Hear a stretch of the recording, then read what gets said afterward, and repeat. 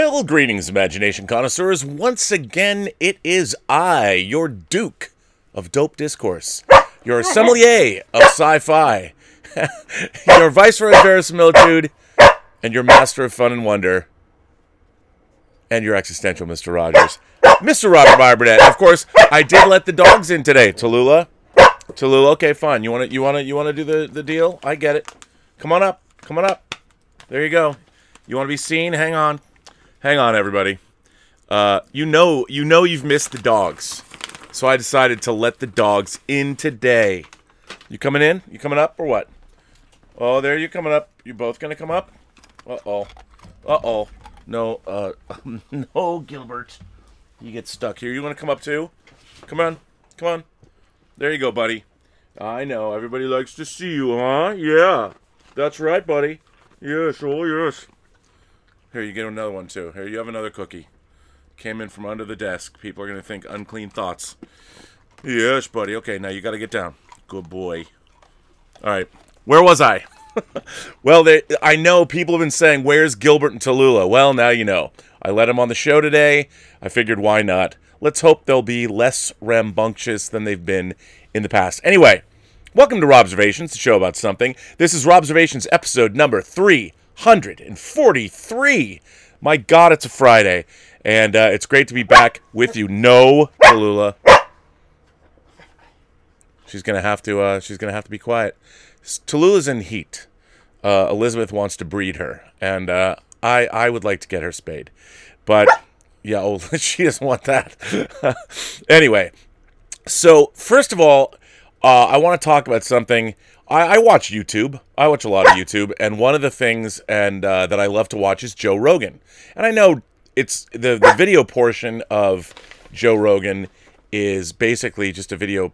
Uh, his podcast is the main thing, but I really enjoy his podcast a great deal. And there are sometimes there are people on his podcast that I make the mistake of jumping on like at midnight. You know, I'm going to sample what somebody's going to say. I'll just jump on and I'm like, all right, I'll check this person out.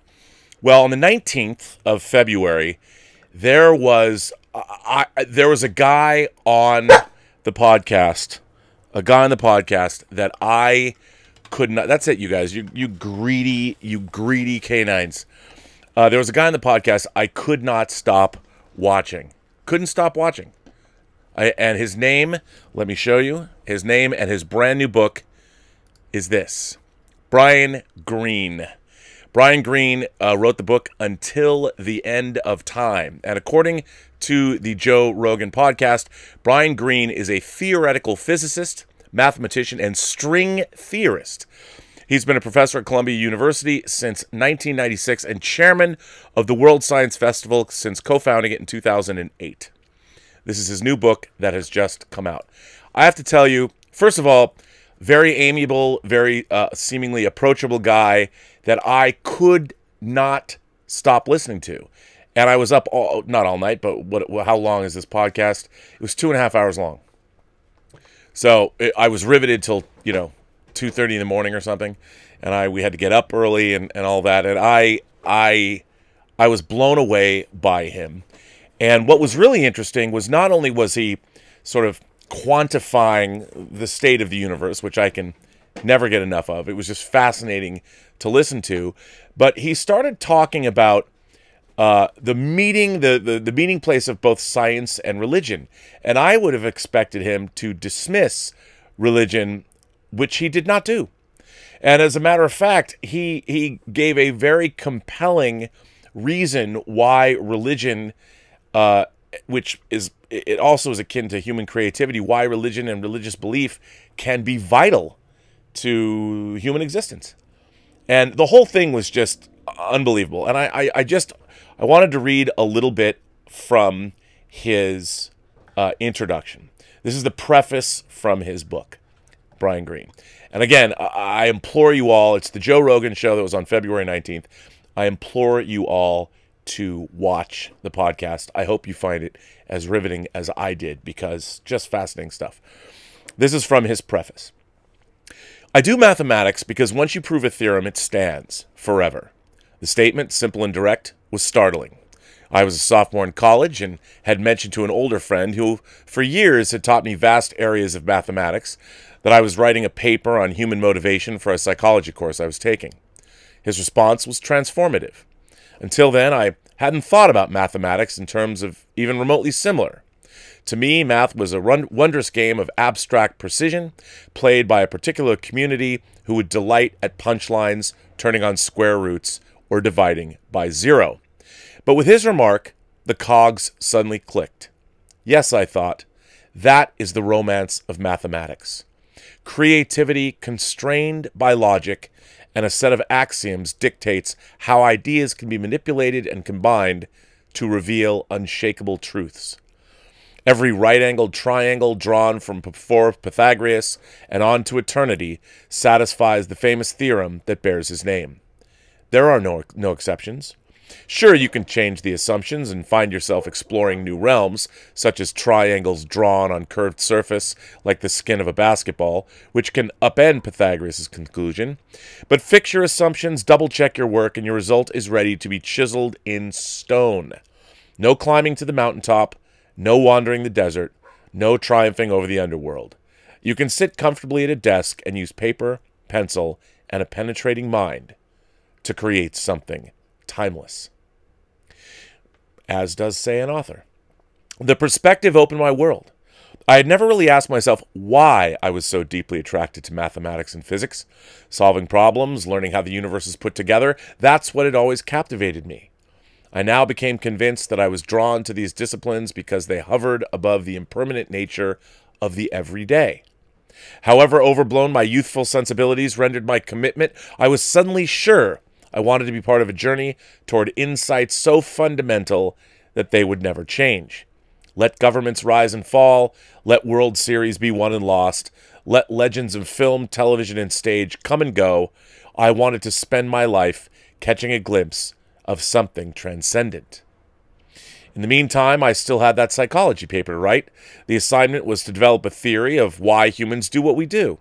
But each time I started writing, the project seemed decidedly nebulous. If you clothed reasonable sounding ideas in the right language, it seemed you could pretty much make it up as you went along. I mentioned this over dinner at my dorm, and one of the resident advisors suggested I take a look at Oswald Spengler's Decline of the West a German historian philosopher, Spengler had an abiding interest in both mathematics and science, no doubt the very reason his book had been recommended. The aspects responsible for the book's fame and scorn, predictions of political implosion, a veiled espousal of fascism, are deeply troubling and have since been used to support insidious ideologies. But I was too narrowly focused for any of this to register. Instead, I was intrigued by Spengler's vision of an all encompassing set of principles that would reveal hidden patterns playing out across disparate cultures, on par with the patterns articulated by calculus and Euclidean geometry that had transformed understanding in physics and mathematics. Spengler was talking my language. It was inspiring for a text on history to revere math and physics as a template for progress. But then came an observation that caught me thoroughly by surprise. Man is the only being that knows death. All others become old, but with a consciousness wholly limited to the moment, which must seem to them eternal. Knowledge that instills the essentially human fear in the presence of death. Spengler concluded that every religion, every scientific investigation, every philosophy proceeds from it. I remember dwelling on that last line. Here was a perspective on human motivation that made no sense to me, or that made sense to me.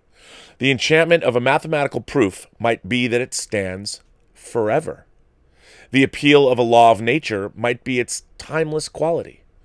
But what drives us to seek the timeless?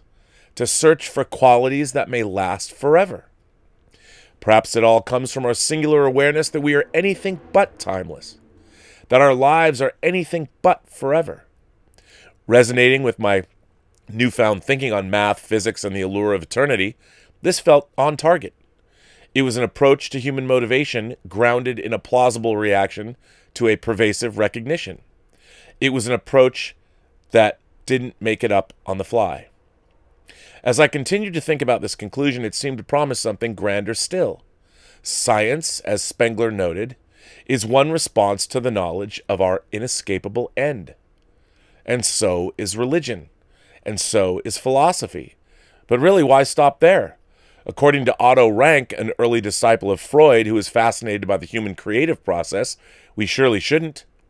The artist, in Rank's assessment, is someone whose creative impulse attempts to turn ephemeral life into personal immortality. Jean Paul Sartre went further, noticing that life itself is drained of meaning when you have lost the illusion of being eternal. The suggestion, then, threading its way through these and other thinkers who followed, is that much of human culture, from artistic exploration to scientific discovery, is driven by life reflecting on the finite nature of life. Deep Waters, who knew that a preoccupation with all things mathematics and physics would tap into visions of a unified theory of human civilization driven by the rich duality of life and death. Well, anyway, he goes on. Now, I found this fascinating, and he, um, I've kind of always thought that myself, that the entire purpose of the arts is to make sense, just like science fiction itself, of our our lives in our confused state of knowledge. Kind of, I'm paraphrasing Brian Aldiss, science fiction writer, right there, but I've always kind of believed that that we tell stories, we we we indeed to to make sense of not just our own lives, but the, the lives of all humanity. And I think the great stories even if somebody, what do I say at the end of every episode? Every person you meet has a story to tell you have yet to hear. All you have to do is listen. And I honestly believe that because every single person has a story. And I'm always quipping to my friends, I'm always going, well, if you know, if you're not going to write your own story, if you're not going to have your own personal mythology that you're going to put forward, who's going to do it for you?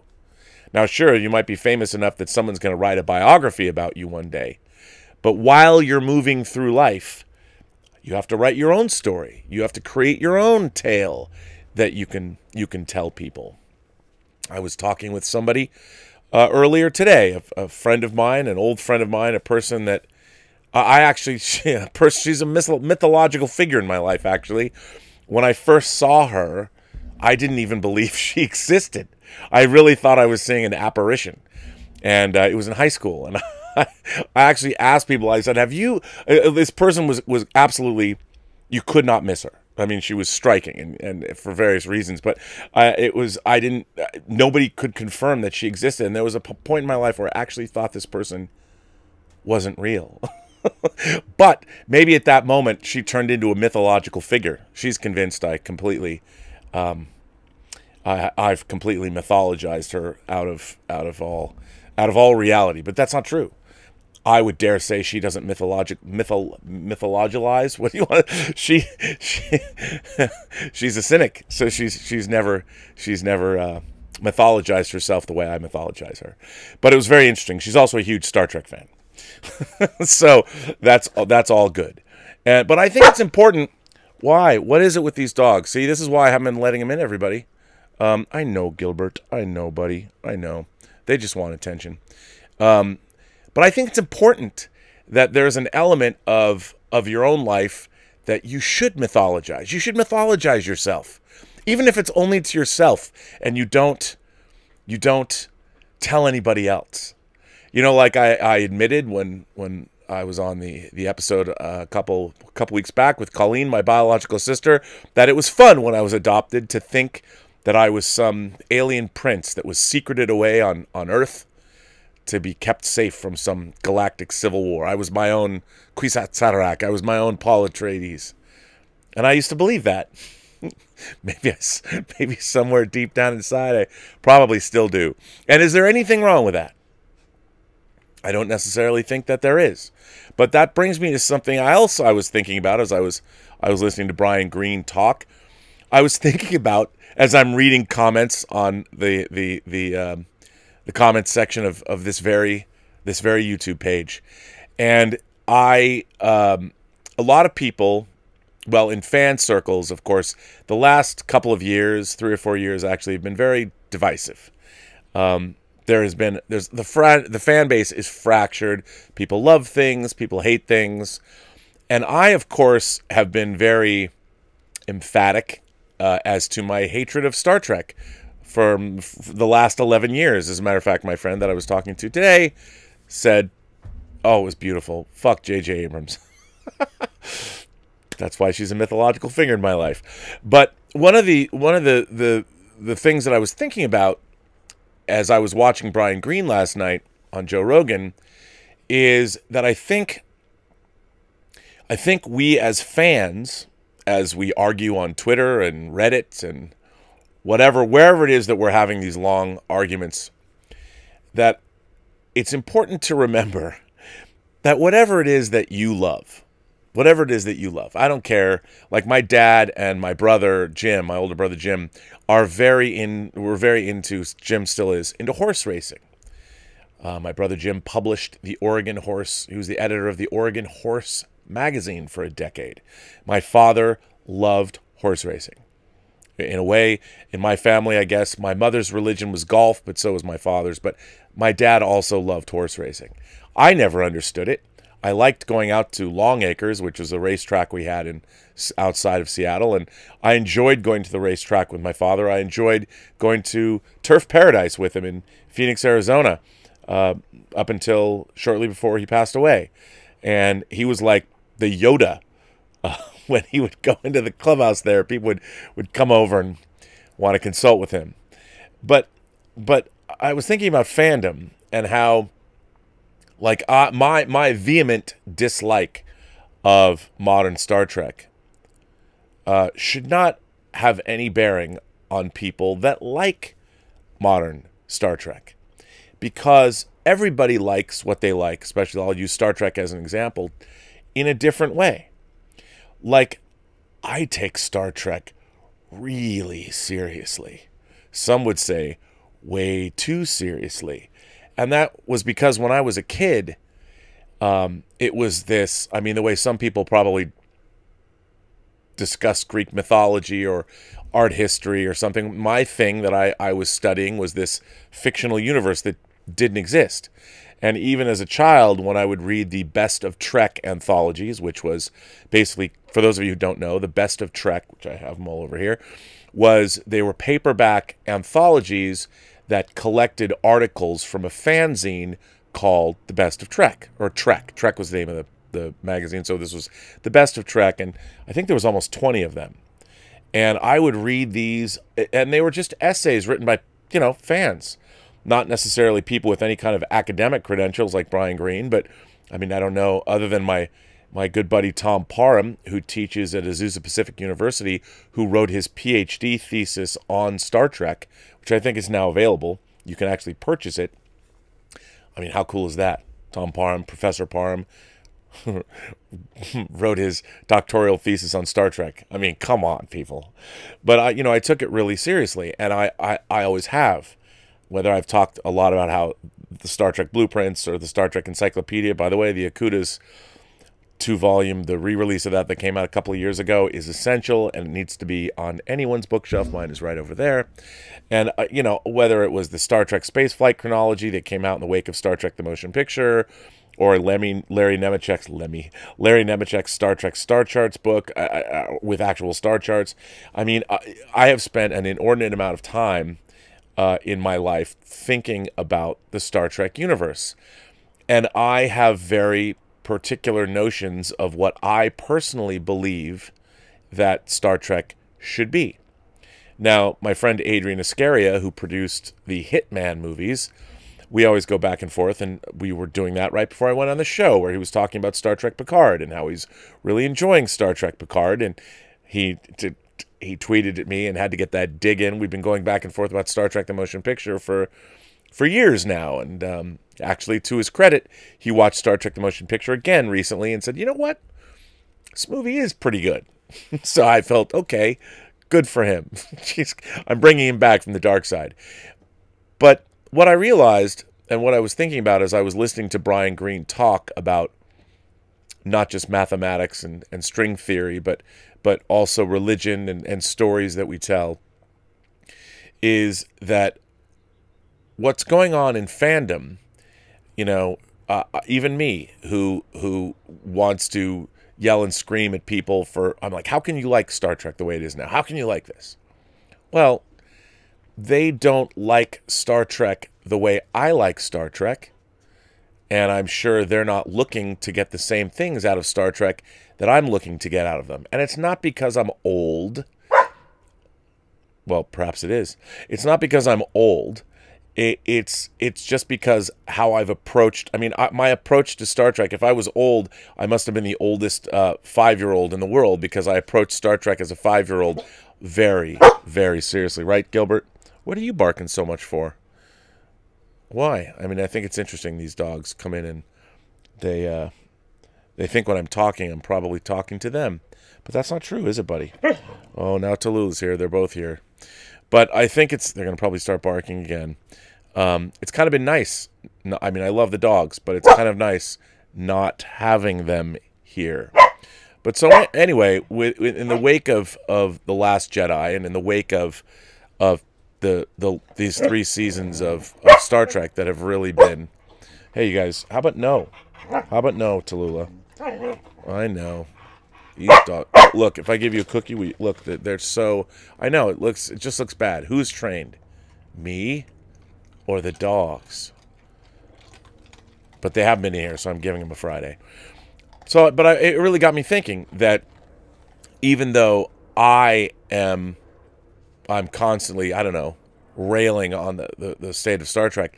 Does that mean people that are coming to Star Trek? I've even said people who are coming to Star Trek for the first time, if Picard is their first experience with Star Trek, or Star Trek 09 was, or or Star, God forbid Star Trek Into Darkness, who am I to to take that away from somebody? And uh, if they like it, they like it. And I, I, am the first person to say, if you like something, you should be able to like it. You know, you shouldn't have to apologize for what you like. You shouldn't. You shouldn't be getting in fights with people who don't like something. And I think one of the things about Star Wars is that a lot of Star Wars fans, unlike Star Trek, the people that really love Star Wars, that they they've been they've paid as much attention to Star Wars as I've paid to Star Trek. There's a lot of uh, I guess you'd call them fundamentalist fans, like like myself. And Star Wars probably occupied, and Star Wars was a big deal for me too. But to be honest, I I sort of tuned out of Star Wars after Jedi. Star Wars and Empire meant the world to me, but when we got to Return of the Jedi, uh, it was so disappointing to me that I um, I sort of tuned out because I realized while I, I liked a lot of what was in Return of the Jedi overall, it was to me a crushing disappointment. So my Star Wars left, and at the same time, Star Trek was going on. And after when Return of the Jedi came out, we were only a summer away. We were an, uh, a year away from the release of Star Trek II: The Wrath of Khan. That was still resonating very deeply, and I had I'd obviously bought the pre-recorded video cassette and was watching it over and over and over again. And it was it was very interesting becoming 16 and learning how to drive, I started to drive right before Return of the Jedi opened. And so I went through, you know, a rite of passage. And for me, when Return of the Jedi came out, I was expecting to have it speak to me in, in a way that Star Wars and Empire did, because Empire came out literally days before my bar mitzvah, when I became a man in the Jewish tradition and it really resonated with me at the time. And I was expecting that Return of the Jedi would have as much to say to me as a 16 year old as Empire Strikes Back did when I was 13. And unfortunately, it didn't. Return of the Jedi didn't have much to say to me at all. There was not much for me to ponder. I did enjoy the the final scene, of course, in the Emperor's throne room from a visceral standpoint. It seemed like a great ending to the trilogy, but the rest of the movie didn't resonate with me. Whether you liked what was going on on Dagobah or whether you liked what was happening when Han Solo found out his best friend had sold him out and what went on in Cloud City, it was all of those messages, whatever they were. I don't need to analyze them now, but they really spoke to me when I was 13. And I was expecting that that same thing would happen, but it didn't. However, Star Trek II was still there, resonating with me as I passed that other great rite of passage when you're a teenager getting a driver's license and learning how to drive and actually meeting the person that I told you was a mythological figure in my life.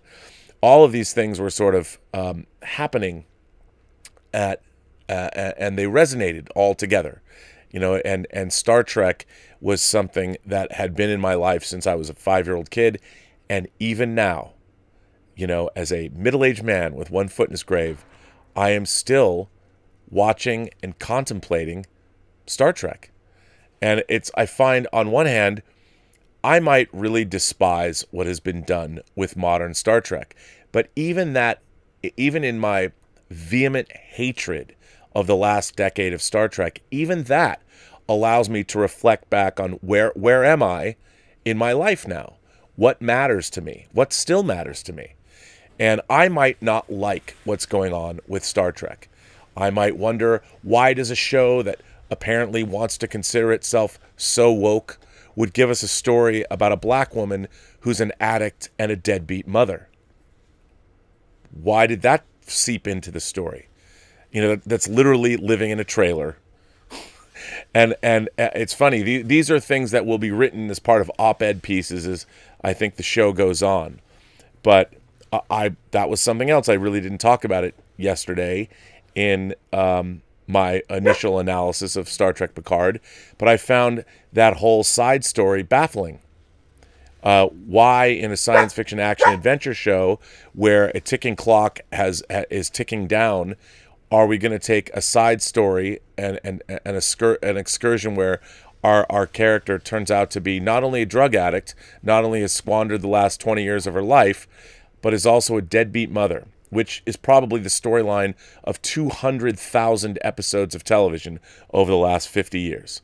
And that's what we that's what was put in Star Trek. So I can say that yep, here's another here's another uh, uh, stupid, inane, unoriginal, uncreative element that they've had to Tallulah. No. Yeah, listen to her. I wish you could hear her vocalizations. She's making me give her more cookies just to shut her up. But I it, it is it is it is baffling to me that where Star Trek is. But as I was listening to Brian Greene last night, I was thinking, you know what though? It's kind of made me take stock in my own life and where is my personal mythology now? Where am I at as a fan, as a human being? What is it that I still believe in?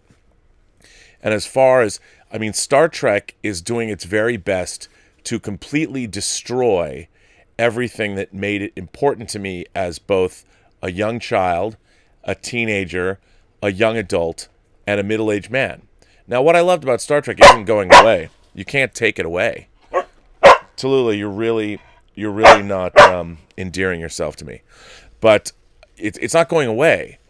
But it's unfortunate that that I think what I liked about Star Trek that in, what inspired me I think has been bled out of Star Trek, and that's why I it's distressing to me. But for other people, for people that are coming to Star Trek for the first time, um, it's speaking to them. You know, it's it's something that that they're clearly um, thinking about, and and obviously we can go back and forth on Twitter and talk about who's right and who's wrong. Uh, what's distressing though is to think that they're not getting Star Trek was always aspirational to me. And I don't, I see that first and foremost, the thing that I find most distressing about Star Trek is that the uplifting aspirations of what I got out of the show seem to be gone. And maybe that's what I object to the most. But then again, maybe the people that are watching Star Trek now that are really embracing Discovery or embracing Picard are getting something out of it that is aspirational. Um, I don't see what that could possibly be, but it really isn't for me to say. You know, it's not for it's who am I to come out and I've never believed in the term gatekeeping. I don't I don't agree with that because nobody is keeping you from anything. I mean, I haven't built any kind of a barrier between you and what you love. If I want to be critical about something, come back at me. It's it's very funny because I've noticed that um, there are some people that are that are, come back with thoughtful thoughtful things. But when you say you don't like something, there's a great deal of people that'll come back and make it personal about you. I try not to do that, sometimes I might be guilty and, and uh, I don't live up to what I would like to live up to, but hey, uh, nobody's perfect, right? So, you know, I'm just curious, like, what do you guys think? What what are what are some of the things? What do you believe? Do you allow people to to get in the way of your enjoyment of things? If somebody tells you that, hey, um, I don't like what you like, does it affect your? I mean, obviously, it's tough. We all, as human beings, want to be able to. We all want to be able to uh, um, commiserate or or talk to people that share our points of view, but we don't want to be criticized. And I think that it's it's just it's really it's really making me think. I mean, what I think people were disillusioned by the portrayal of Luke Skywalker. Like I was no longer attached to Star Wars the way I used to be. So I can look at The Last Jedi and and and I can take enjoyment out of it because I found it interesting. Now there's a lot of people that felt that The Last Jedi besmirched the character of Luke.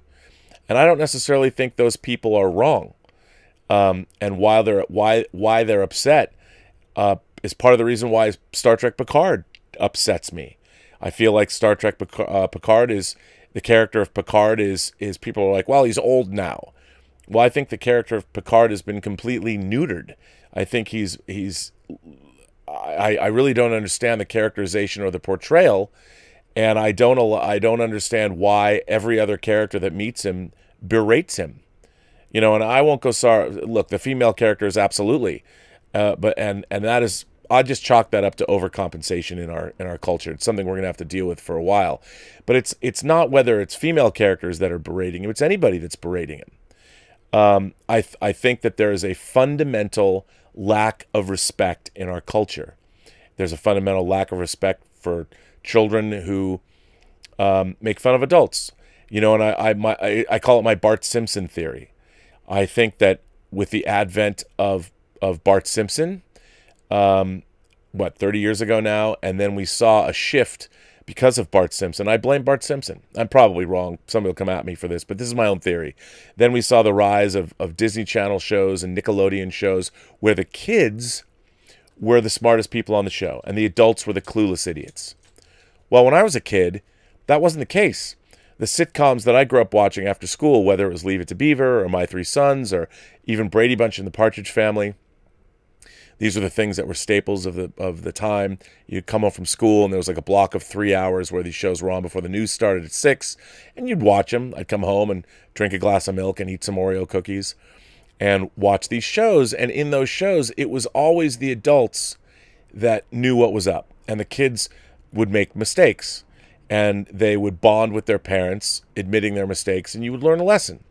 And that was true of Leave It to Beaver in the 50s, and it was true of My Three Sons, and all the way into the, late 60s and early 70s with Brady Bunch and then Partridge Family.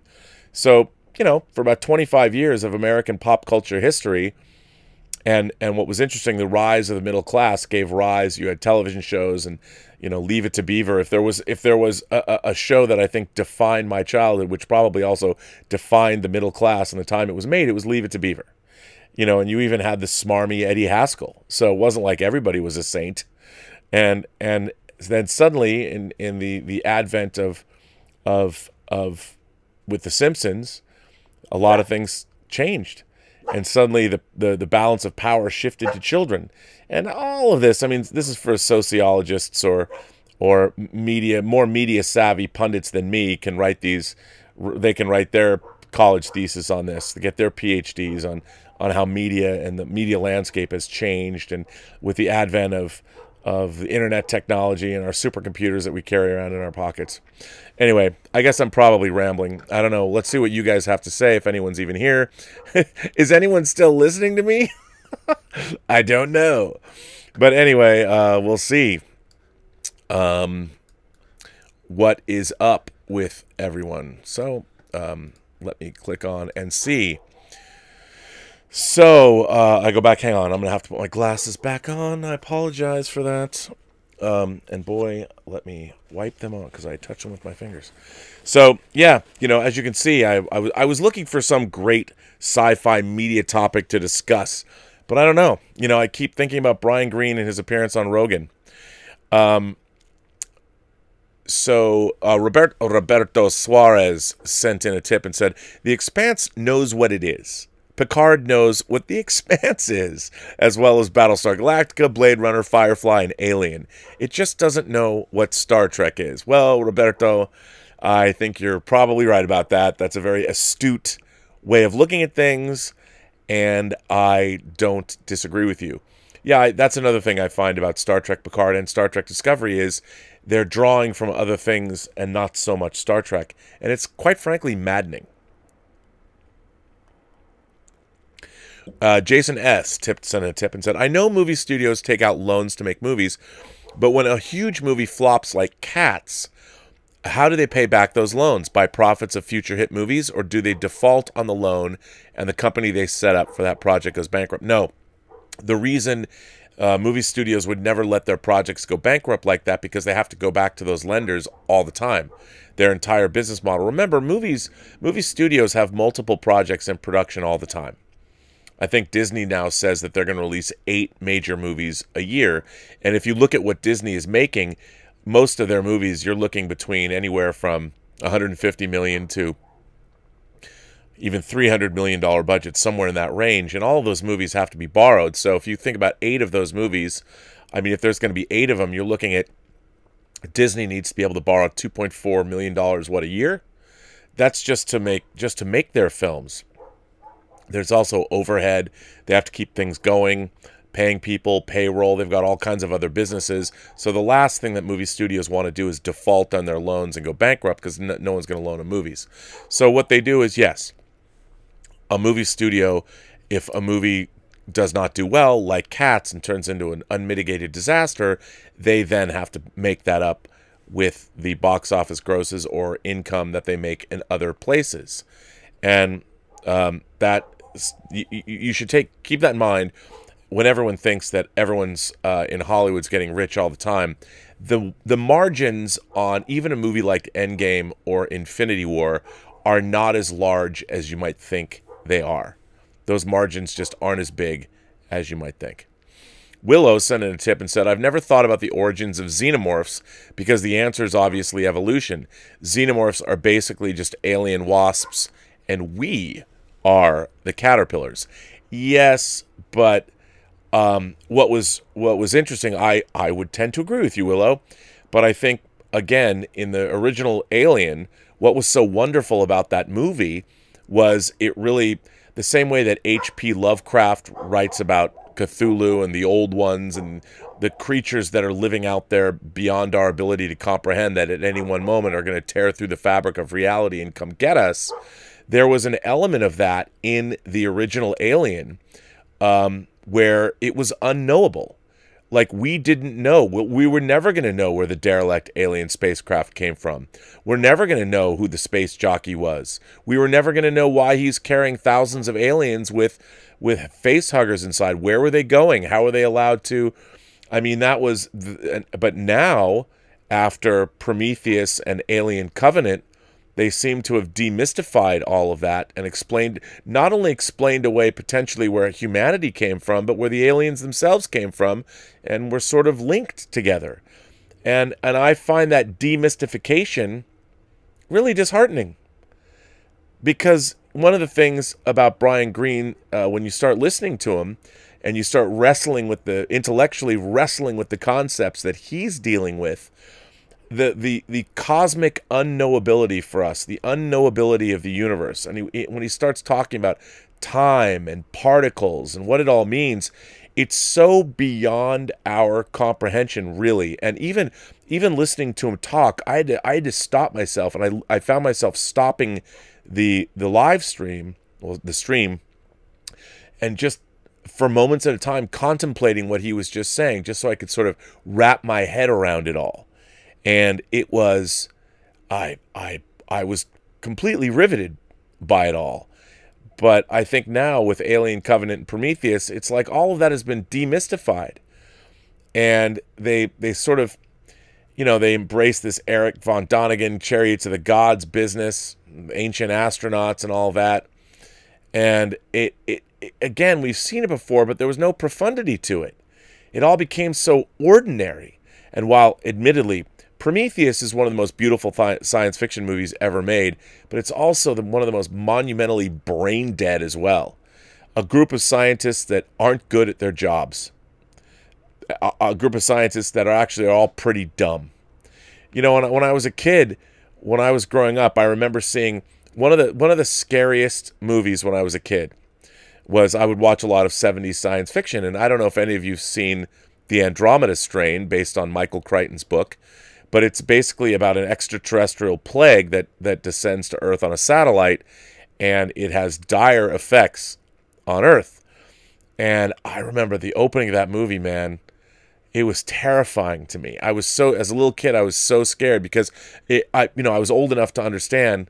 I was a little precocious to understand the ramifications of what it was telling me. And the opening of that movie, man, oh, and I, I love stories like that. Perhaps you know, now that I think about it, I love stories about plagues and disease vectoring, and um, th- there's a there's an author, I believe he still lives in Portland. His name's Pierre Ouellette, Ouellette, Ouellette, Pierre Ouellette.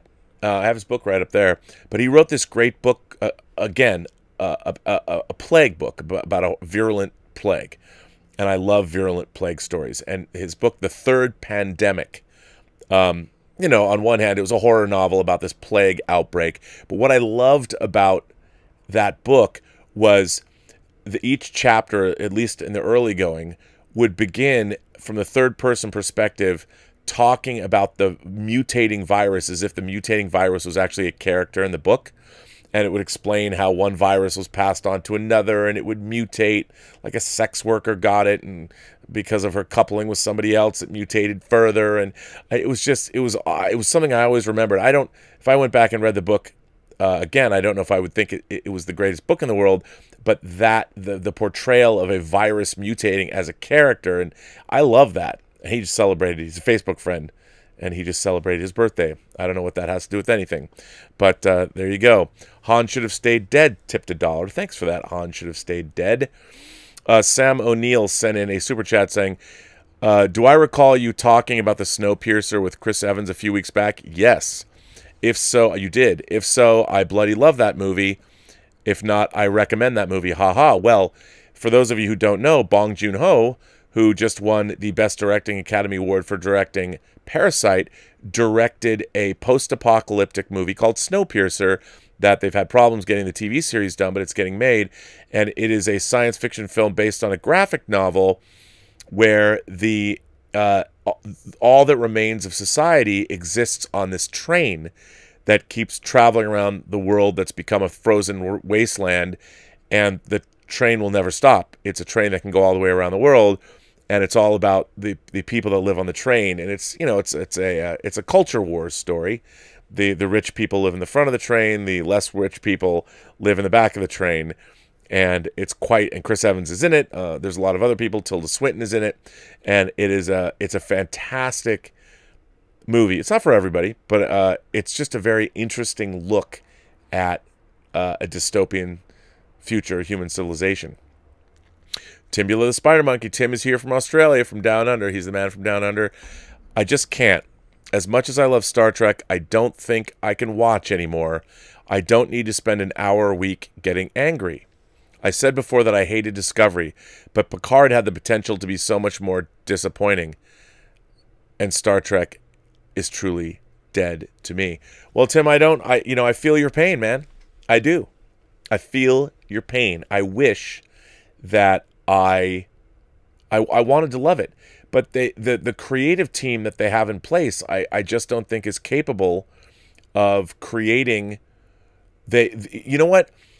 They're they're not original.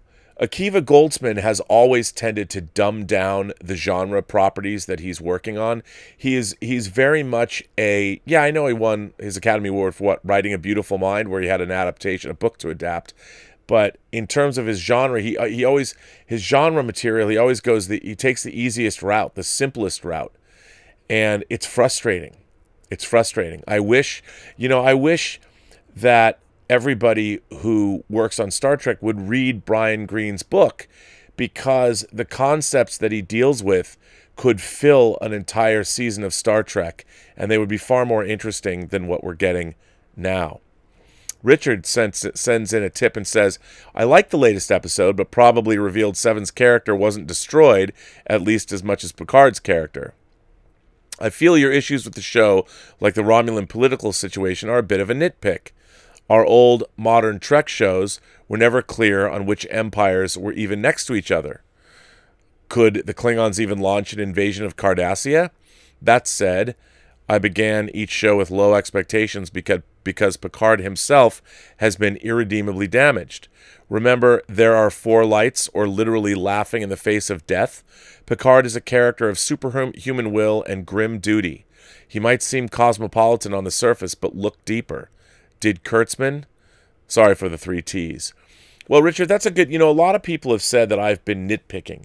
But here's the thing when you are watching something science fiction, you, you great science fiction or great storytelling in general, you can infer certain realities about the universe that you're dealing with. And when we first met the Romulans in Balance of Terror, they not only do they show us, do they tell us about the Romulans that we'd never heard of because it was Star Trek's early days, um, they told us a lot of things in that episode.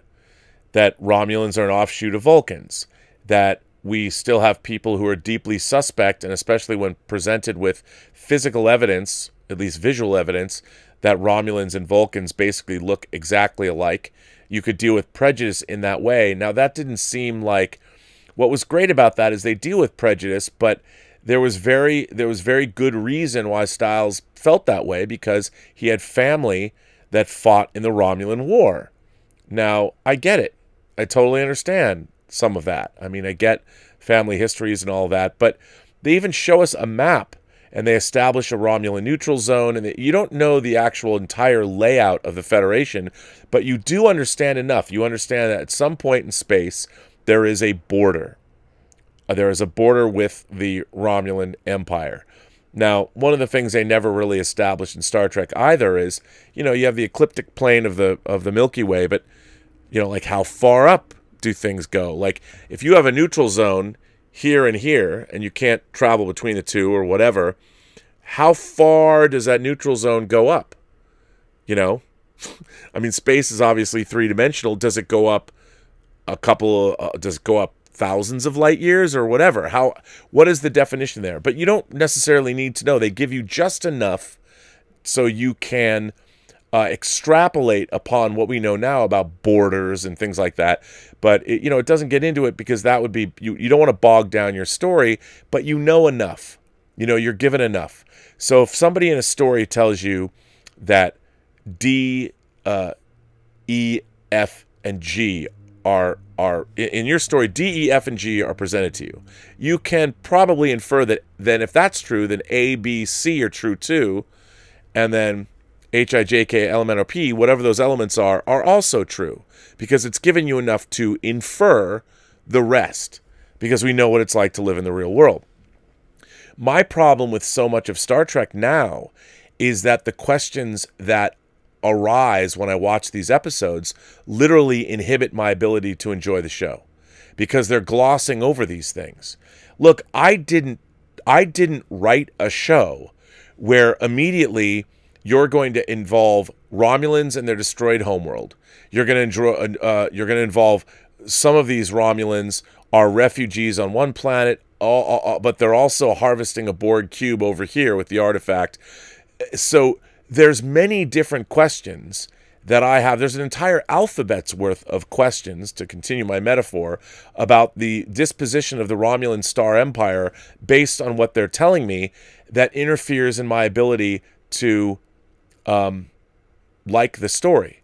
Like in this episode of Star Trek, you're well in the whole show Picard and and which by the way they established the destruction of the Romulan homeworld all the way back in 2009 but now they're asking us they're dealing with the realities of the Romulan civilization as it exists now without answering many questions that viewers would have and say like but wait a minute you establish a Romulan colony where everybody seems to be last week pretty okay. And 14 years go by, and this Romulan colony has descended into basically uh, uh, uh, uh, an old Western town during the middle of the Dust Bowl, where everybody. Well, why is that? Why has the Romulan Star Empire? Are they not taking care of their own people? How much of the Romulan Star Empire exists? How much of it did it exist to begin with? We really never knew. Beyond Romulus and Remus, we would hear about certain planets and things, but they do have an empire which has been established over the years. So the question remains if you're going to constantly deal in every episode with the Romulan civilization as it exists post destruction of Romulus, you've got to give us some you've got to give us viewers, astute viewers need some kind of of of give us some background. Where are we at? Like there's a Romulan reclamation site. Why are they paying money for that? Like who or, or why are they supporting that? Who is supporting that? Is the Romulan government itself supporting that? And if so, where are they? Are, is there is there a Romulan Senate somewhere? Where is their Starfleet? We haven't seen a D'Deridex X battle cruiser or, or or one of those those beautiful starships that were introduced at the end of the neutral zone, the last episode of the first season of Star Trek The Next Generation. So astute Star Trek viewers, look, they'll bring back uh, Icheb, Ikeb, whatever, whatever, uh, and they'll bring back Seven of Nine, and they'll be like, okay, so Seven of Nine's in the Fenris Rangers, and she just happens to show up to rescue Picard. She didn't know who's in that ship. She was just rescuing a ship that was under attack by a pirate. But but there's all of these questions that have been put out there that that I didn't ask them to overly complicate their situation. And some viewers will be like, "What does it matter? What does it matter?" And I'm like, "Well, it matters to me because a lot of what happens in the show doesn't make sense if you have some kind of of of political structure happening. Basically, the biggest question is why couldn't Romulans rescue themselves? They had ample opportunity. They knew the star was going to go nova. Why didn't they relocate the planet? I mean, you look at other shows like they'll rip off Battlestar Galactica, yet remember when the 12 colonies were destroyed in, in Ron Moore's Galactica, they kept their government together. As a matter of fact, the machinations of that government uh, was fuel, story fuel for a lot of the four seasons of uh, Galactica. You know, what does that all mean? So, um, I, it, it bothers me. There's a, sorry, anyway. Um, uh, let's see, where was I? Uh, oh yes, so so the Richard, that's that's what I was. Uh, Richard, not the Richard, but Richard. That's why I was. That's why I'm nitpicking, because there's a lot of, and then they keep adding things. Then you bring back back Bruce Maddox's character. Then you talk about synths. There's all of these things that they've just brought up and when when you're when you're talking about synthetic life forms, you have an entire rich history of Star Trek going all the way back to what are little girls made of in the first season and the androids from I, Mudd. And then you have Dr. Soong's creations. You've got synthetic life forms or mechanical life forms, whether it's the exocomps or the nanites from the episode Home Soil that call human beings mostly bags of, of uh, ugly bags of mostly water. There's so much stuff that they're touching upon that the Star Trek universe has already touched upon, and they've got a very slipshod way of dealing with the Star Trek universe, which is is galling and it's annoying. Um, so yeah. Uh, anyway, uh, Jeffrey Mouse says Bob Barker would not approve of Elizabeth's plan for Tallulah. Believe me, I don't approve for them. uh, Timbula the Spider Monkey says, I also love the Art of Atari book. I picked it up myself a week or so ago. Oh, yeah. Uh, as many of you, I guess, can see, uh, I do have, let's say, I guess if I put it back over here, um, you can see that right there is the Art of Atari book. I'm just moving around stuff on my bookshelves. Uh, actually, Jon Schnepp gave me that book for my birthday one year. Uh, so uh, it's a very, very cool book. Um, Star Wars Rocks asks, Hi, Rob, what did you think of the Clone Wars uh, Season 7, Episode 1? You know what? I was to watch it, but I got so sucked into the Brian Greene, Joe Rogan podcast that I did not watch it yet. So I'm to watch that over the weekend. I can't wait. I hope it's good. What did you think? Uh, Double Crit sent in a super chat and says, Hi, Rob, would you recommend Star Trek Discovery Season 2 for someone who thought Season 1 was okay, as in 6 out of 10. Enjoyed the discussions here and on the other show. I can't recommend Star Trek Discovery in, in any way, shape, or form. I really can't. Um, I think it's a. I think season two actually was was um, in some ways. Look, everyone likes Captain Pike. I hated the portrayal of Spock. I hated the portrayal of of I guess I, again Burnham and being the most important person in the universe and all that. I hated I especially hated the portrayal of their big bad. Again, Akiva Goldsman, the most cursory understanding of AI. There was nothing it it was not up to Star Trek standards and so I can't but that doesn't mean look, I don't I can't recommend it. That doesn't mean I don't want to tell people not to watch it. Hey, for no other reason, watch it and come back at me and tell me I'm an idiot. tell me I'm wrong. Or better yet, come back and tell me what was I missing from the show? What did you like about it? What is it that you liked? And and and I'd like to have more of more than just that. I'd love to hear an analysis from anybody. I look, when people like things, I want to know. I genuinely want to know, but I don't like when people go, "I liked it." Well, why? What is it that worked for you? why did and that's the that's the thing i'm, I'm curious as to um, storytelling itself what is it about stories that work for you as opposed to stories that don't work for you now what what's always interesting to me is like I, by my own by my own um, uh, i guess my own judgment i know that there are certain stories i might even not not love these stories but i know that certain stories are great stories they're great stories and, you know, it wasn't until, like, I could even understand when I started reading Shakespeare, when you started reading it in elementary school, like Romeo and Juliet, it was very difficult for me to get past the actual language itself. So it would interfere in my understanding of the stories. But as I got older, it was apparent to me, and as I became more tolerant of Shakespeare, and I was actually so many, so many things would reference Hamlet you know, you have to go in, in, and start reading those stories. But as I got older, it was very apparent to me that the stories of William Shakespeare have endured for a reason. They're they're masterful stories. They touch on so many different human truths. So um, you can not like Shakespeare, as I didn't for the longest time, but I was wrong as a fan of storytelling to not like Shakespeare. Uh, I think anybody that has any cursory interest of great stories, I feel the same way. By the way, that's why I feel the same way about the Bible whether you are a believer or not. You can understand when you approach the Bible that, okay, this has been one of the most, you can't really understand the great canonical works of Western literature, or whether it's indeed much of Western art, whether it's literature, whether it's painting, whether it's music. So much of Western art has been uh, inspired by scripture that I think it's important for anybody who's a fan, who's an imagination connoisseur, all of you imagination connoisseurs, you out there, members of this, the Post Geek Singularity, to have a real understanding of where we came from. It's important to know your Bible. You know, one of my favorite stories, and I never tire of variations on this theme, is the story of Job and and the travails that Job went through. Sometimes uh, I've called Elizabeth Job with her teenage daughters. and certainly my career in the entertainment industry could be sort of, sort of, you could say it parallels the story of Job. Maybe, uh, you know, it's funny. I was having a converse that conversation I was having today. I was thinking, huh. But anyway, uh, the the story of Job is something that's always been near and dear to my heart, and I think you know again, it's important to know these things. It's important to have a working knowledge of things before you can really get in there. And that's that's one of the frustrating things about Star Trek. I don't like the fact that I keep asking myself these questions about characters.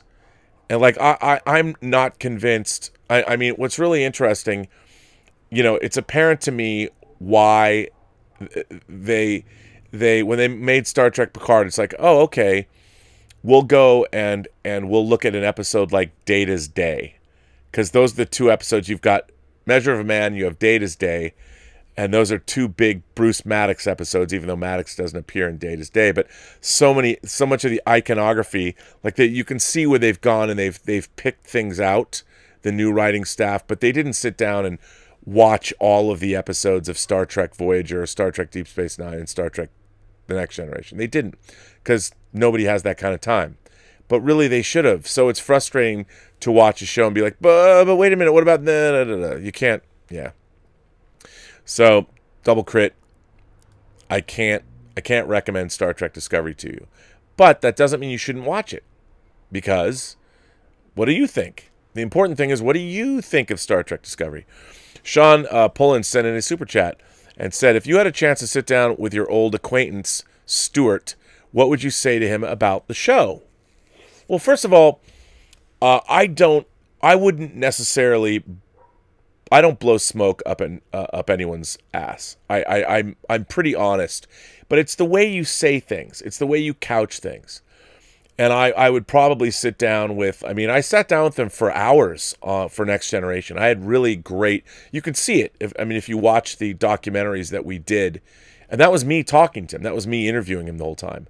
And then, of course, we have the I, I host the roundtable with the entire Next Generation cast on the season two Blu-ray. So I spent a long time with all the actors, and I I could be I could be. Um, look, you have to understand when people make things, especially in motion pictures, everybody thinks what they're making is great. There, there, nobody. I mean, maybe there are certain times when you work on certain movies low, but people know what they're working on. People are very aware. But when you're working on a show like Picard, it's a prestige show, and Patrick Stewart's a prestige actor. And I think everybody who is putting their heart and soul into the show believes with all of their heart they've made an outstanding television show. And I'm sure a lot of them don't understand why Star Trek fans reject it because I'll tell you why. Do you know why they don't understand? Because they don't watch the shows. They don't watch the shows. They don't sit down. Do you think Patrick Stewart watches episodes of Picard? You know, Brent Spiner told me that, uh, in all honesty, and I believe him, he goes, I don't watch Star Trek The Next Generation. I've never seen an episode. He's gone to the movies because he has to contractually. He's obligated to go to this, the, the premieres but he doesn't watch Next Generation. He's like, why would I? Why would I do that? I I acted in the episode, and he's right. I mean, while I've gone back and watched my own work occasionally, I don't sit and watch my own movies. Free Enterprise. I haven't watched my. Own, I haven't watched that movie in years. You know, I really haven't. I don't. And people that work in the the entertainment business, they they make things and they hope people like them. And when you're working on them and you're busting your ass, there's you don't think that what you're making isn't going to be great because you're trying to make the greatest. Tallulah. No. You're trying to make the greatest thing in the world. You know, these these dogs. This is why I can't let them in here. Because when I'm not paying attention to them, they just want to come in and eat cookies. But um, people wanted to see him, so hey, they have. Um, but but I they don't know it's not good, and and and so I would be very tactful when I sit down with him and and and um, and ask.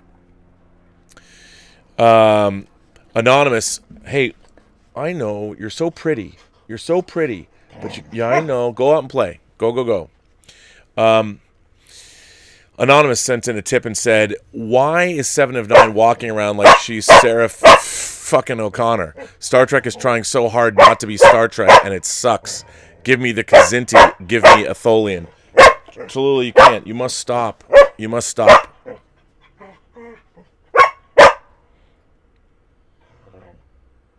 Let's see if I stop talking. They won't bark. Uh, well, first of all, you can't use the Kzinti because those belong to Larry Niven. You'd have to license the Kzinti. But you know what? I would love to see the Kzinti. The Kzinti are a cat-like race, not like the Caitians that Lieutenant M'Ress is from um, the Caitians. That's that's an animated series reference, and the Kzinti appear in the animated episode Slaver Weapon. But they are from I think it's Larry Niven's Known Space series is where they're from, which was kind of cool that Larry Niven was allowed to cross over the Kzinti with Star Trek. But yeah, I don't understand. I mean, Seven of Nine is a badass. She's supposed to be again. The fact that you can say that Seven of Nine is like Sarah fucking O'Connor is the problem with the show because everybody is is is somebody else transposed from another franchise into Star Trek. And that's the thing that really I think that's the thing that really bothers me. Is is here's a really interesting character. I mean, I loved Seven of Nine. I love Jeri Ryan's portrayal of Seven of Nine. By the way, how great does she look? Uh, you know, another conversation I was having today is, I mean, Jeri Ryan's 52 years old. She looks amazing. She looks amazing. Who who doesn't? You know, I mean, this idea that people don't look good in their 50s is silly. Um, but she looks amazing. But yes, yeah, she's not acting like the character. She's not. She was not acting like a character in Star Trek. Like, what would happen once a, a Borg, an assimilated Borg, gets back to Earth after where she's at? She's now a ranger. Why is she a ranger? Why isn't she working, helping former Borg drones be be uh, make it back into real life? I mean, none of that makes sense. They've just decided, let's bring Seven of Nine back and put her in a situation that is not analogous to Star Trek in any way, shape, or form. You know, there was that pilot for the Babylon 5 show, Rangers, the Rangers. Somebody brought that up to me. I mean, you know. Um, Word Balloon, John Siuntres is here. Word Balloon sent in uh, from the Word Balloon podcast. Everyone knows I, I love the Word Balloon podcast. He says, uh, he sends in, th- thanks for that super chat, buddy. Uh, comic book news bulletin. And DiDio is out as DC publisher. Next week, Chicago Comic Con should be interesting news wise. I like Dan, but didn't agree with his 5G plans for the DC heroes replaced with legacy heroes. Yeah, I, look, I I agree. You know what, what's really interesting to me about the comic industry? They're constantly trying to reinvent these characters for a new generation. And it was it was interesting because in my lifetime I saw it begin with Crisis on Infinite Earths. And after that in the mid 80s, they rebooted their main characters. And of course they had John Byrne come in and write Superman and George Perez come in and do Wonder Woman and then they had various creators come in and do Batman. You know, you had Frank Miller after The Dark Knight Returns. He goes back and he does Batman Year 1. And they've constantly been trying to reinvent their superheroes because they figured, oh, new readers will be crushed under how much continuity there is. And I've just, I've always thought that was so strange because I'm like, okay, I get it. Continuity, the ongoing universe, all that's a lot of fun, but just tell your stories that you want to tell. And yeah, so that that's amazing. I mean, now, again, like everything else, comic books are a 20th century medium. And while I love comic books, and my this room is filled with them, um, in hardcover form, in individual form. my 75 long boxes of comics that I really want to get rid of. I'm about ready, by the way, to just give them all away. I really am. Anybody want any comics? Um, but that's really interesting that uh, the publisher of DC is out. It'll be interesting to see what they do. But everybody's trying to, you know, get back to the glory days when Image Comics would sell 3 million copies a month. I just don't know if that's ever going to happen. But it's, you know, I'm sorry to see him go. Uh, Michael Stivic, Stivic sent in a super chat and said, When Berman and Braga created Enterprise, I recall humility. They wanted to simplify. The new writers think they're so profound, but are so transparent. You know, it's true. And I, I one of the things I really am sad about when it comes to Enterprise is they really wanted to spend the first year on Earth. And when we interviewed Brannon and Rick for the um, the uh, documentaries for Enterprise, listening to them talk, they they evoked they evoked the right stuff a lot. They talked about, and if if you guys have not seen Philip Kaufman's 1983 three hour and 15 minute movie, The Right Stuff, please allow me to recommend that. It's one of my favorite movies of all time. It is a wildly entertaining, irreverent look at the beginnings of the American space program, the beginnings of the Mercury 7 and the Mercury program that later went on to Gemini or Gemini and Apollo. It is so much fun. But they talked a lot about how they wanted the first season of Enterprise to be like the right stuff. You know, they would it was going to be all Earthbound, and then the final episode of the season they would launch the NX-01 into space, and I, I and they would look at the the founding, the beginnings, the, the inkling of the Federation. You had the Vulcans and uh, they talked about these things. I'm like, what a great idea for a show. And of course, they had to deal with the network more so than they had ever had to deal with a network network before with notes and things, and they didn't want them to do that. And it was really sad because Enterprise, I think, is a very they again, it turned into basically a copy of a copy of a copy. And when you go and see when, and they also would joke that, well, everything they did on Enterprise, they were just setting up the show for Manny Coto to come in and take over for season four. But um, you know, I think it was a compromise show on many levels. But I do, I do, um, I, I, I, I like Enterprise gets, I think, a bad rap, and and a lot of it is just more warmed over stuff. But there's a lot of good things in Enterprise. Um, so anyway. Uh, that English gent sent in a super chat. By the way, I'm going to read a letter, I believe, from that English gent. I keep I keep forgetting to read his letter. Um, it was funny because he was calling me Richard in the letter, but that's okay. I, I, I, haven't I haven't forgotten that English gent. Um, that English gent says the greatest tool a storyteller has at their disposal is a great question left unanswered. It'll drive people crazy, but their curiosity will make sure it stays in their minds forever.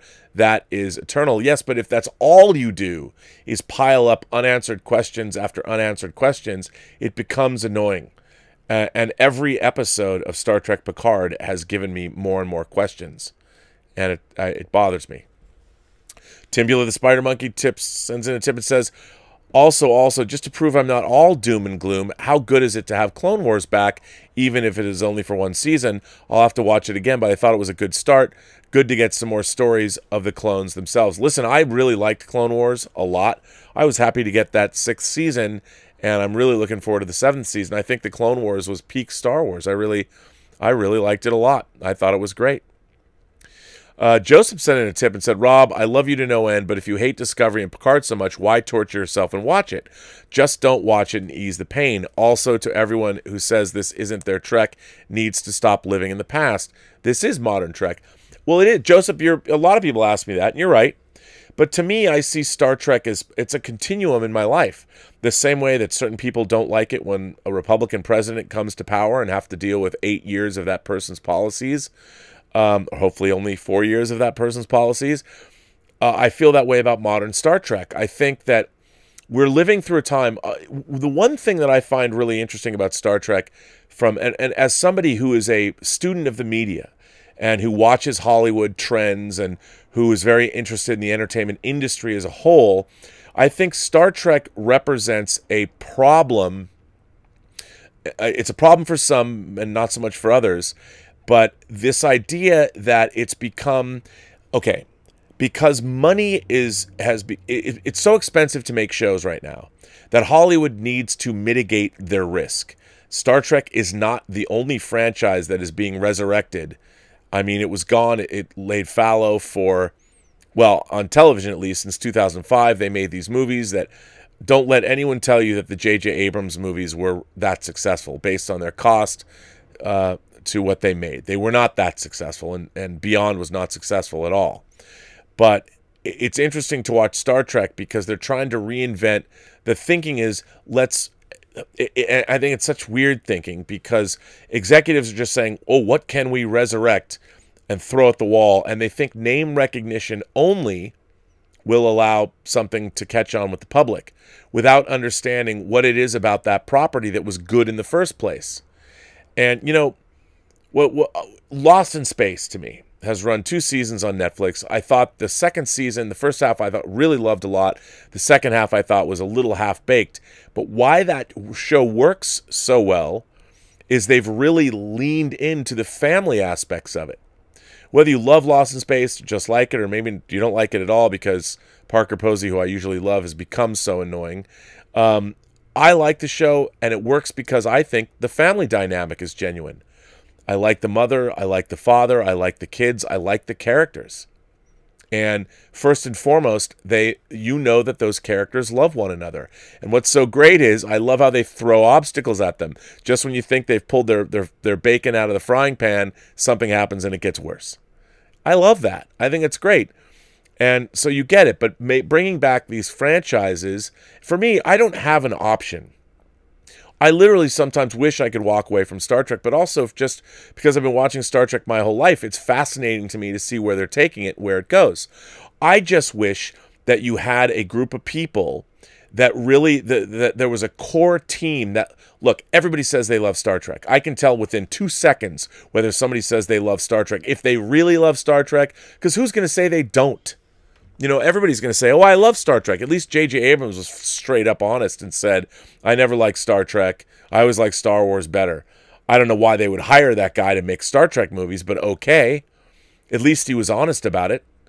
But I, I, um, I, I just who doesn't love Star Trek? Everybody wants a job, but you'd think if they got a core team of people together that really loved Star Trek. And the funny thing is, I could go if you asked me if you said right now if you said right now, Rob, you have 60 minutes to put together your writing staff for Star Trek and we have to approve them, I would I could do it.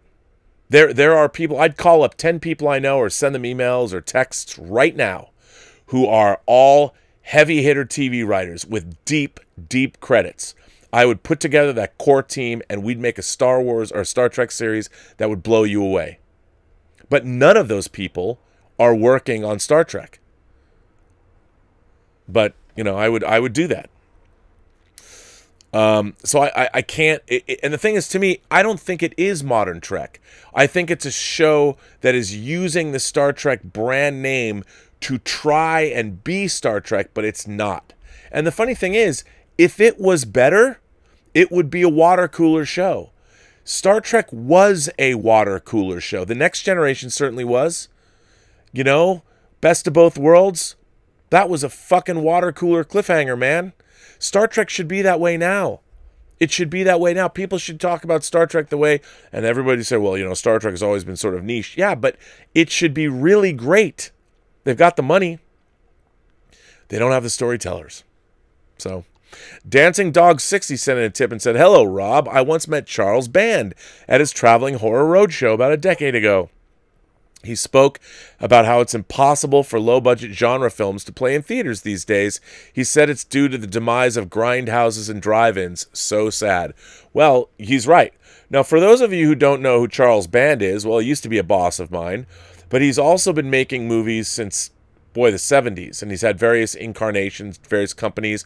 Empire Pictures was his. He produced Reanimator and From Beyond and Dolls and Trancers. And even before that, he was he was a, a impresario of low budget features. He started Meda, later Media Home Entertainment and Wizard Video, and he acquired movies like I Spit on Your Grave and put them out on video. And in the 90s, he or in the late 80s, he created Full Moon Entertainment, made the Subspecies movies, and continued the Trancers movies. I worked for him when I worked on Arcade. I worked with Dan Schweiger and later my buddy Dave Parker, who directed The Hills Run Red. Um, yeah, so uh, he's great. But yeah, I mean, he made his money. I mean, Laser Blast, another movie of his, or The Day Time Ended. These were early efforts by him. These played in movie theaters. And what's interesting now is is movie theaters. There's no B movies playing in movie theaters. B movies all went to TV or the Sci-Fi Channel, and it's really too bad. And, and even the horror we get is the horror in theaters with all the ghosts and things. It's it's highbrow. Even even paranormal activity. We don't have any sleazy grind. You're not going to see Abel Ferrara's Driller Killer or the likes of that in theaters anytime soon. Who's going to go see those things? But yeah, we don't have any soda stick grindhouses anymore, drive ins. It's too bad. I mean, you know, where did teenagers go to make out? Do they even make out anymore? do they just watch Pornhub and RedTube and send each other videos? do they actually meet? Uh, it's too bad. I miss the days of that. But he's right. He is right. And he was a grindhouse impresario, Charlie Band was. Stubble McShave sends in a tip and says the role of grown-ups and kids is dependent on the target audience of a show. If the target group are young people, the grown-ups are stupid or villains. Stories for adults are more well-rounded. Older shows were aimed at an older audience, different demographics. Well, they are now, but they didn't used to be. Like, you know, when I was a kid, there were two primetime cartoons or animated shows, I guess. Well, there's probably more, but I remember two. There's the Flintstones and there's Jonny Quest. I loved Jonny Quest. I loved Jonny Quest and his buddy Hadji and their dog Bandit, but you still had Dr. Benton Quest and you had Race Bannon. You know, they were this show is and again people would tell you that Jonny Quest was developed or, or directed it was it was developed and directed and to be seen by the whole family. And indeed it was. But it still was the kid was the protagonist. I mean, it was called Jonny Quest. And I love that show. I still love that show. Um, getting it's out on Blu-ray. Has it come out or is it's coming out? Um, it's amazing. And I think what what was interesting, even shows that were certainly Leave It to Beaver was directed to kids and family members, but it is it is different demographics demographics, but something has changed. You know, parents have put their children like in front of them. They're like, "Oh, I can't let anything else happen to my kids or whatever." But in letting kids run the show, I don't necessarily or making TV shows where the kids are the smartest people in the room, I don't think that did anyone any favors. Um, Anthony sends in a tip and says, "Who is a better character, Ensign Ro or B'Elanna Torres?" Well, I mean, Ensign Ro is only in nine episodes of Next Gen, So B'Elanna Torres had a whole series to herself. I think, look, I thought Ensign Ro was an incredible addition to the Star Trek family. I love Michelle Forbes as Ensign Ro. I thought she was uh, could do no wrong, and they really did a good job developing her character. I think B'Elanna Torres, though, I liked her as well. You know, uh, and Roxann Dawson has gone on to become a great television director in her own right.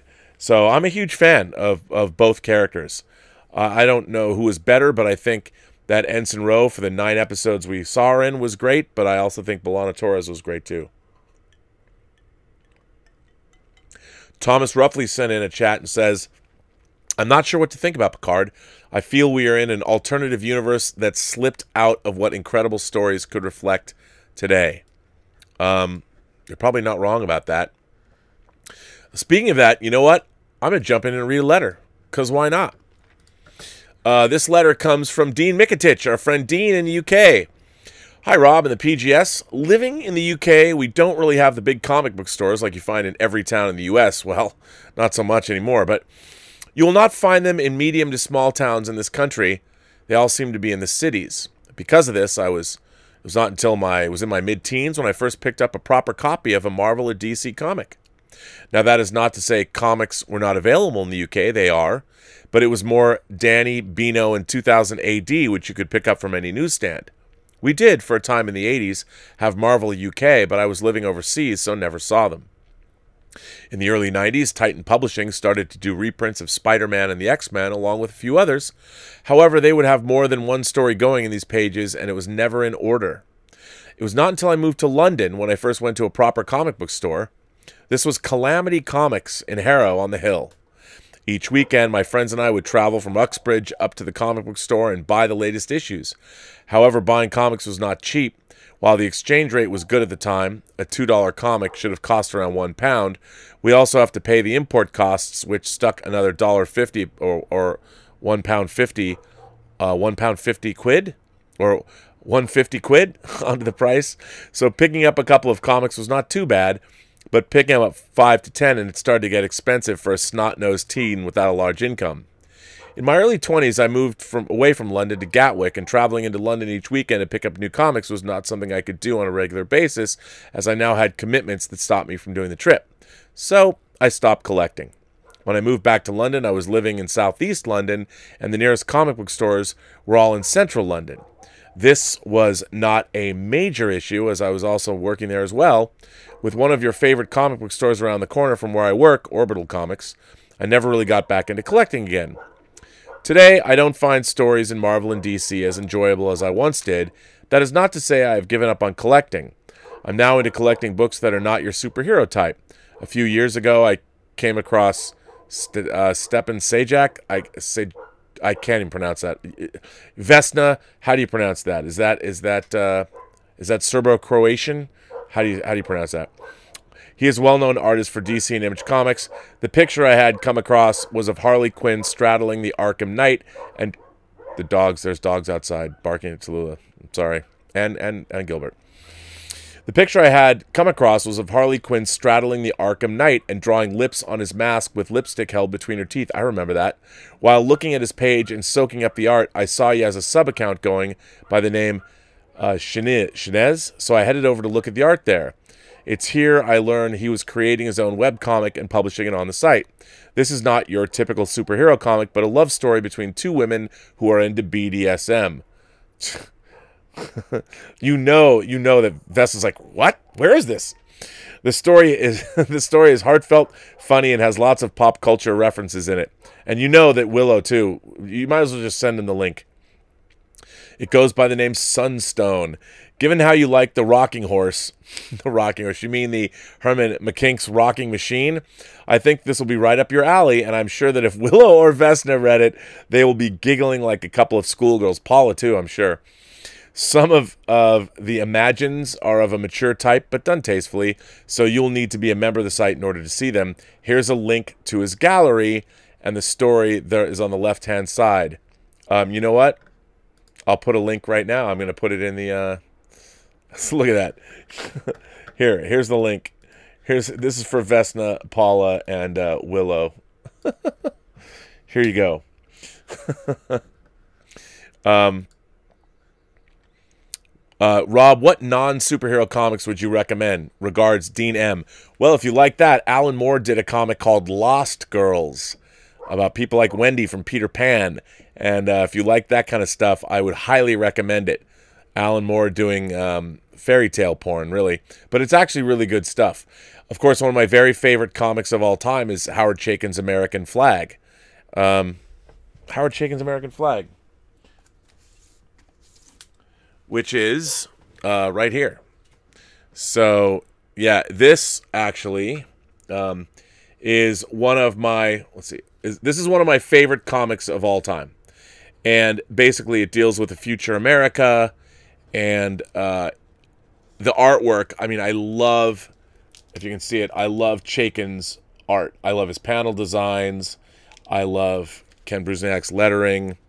Um, I mean, this stuff is just this comic is great. In town to do some business. Look at that. So yes, I um, that's one of my highly recommended comics. I also like uh, Frank Miller's things like Give Me Liberty and and Ronin. Um, there's a comic that I cannot recommend highly enough. Daniel Clowes' Patience, which you have to read. It's a time travel comic, and you know there there are comics like um, um, uh, you know, I like Mr. X, Dean Motter's Mr. X. Uh, Howard Chaykin also wrote an interesting series. It's not about superheroes, but it's in the DC universe called Twilight.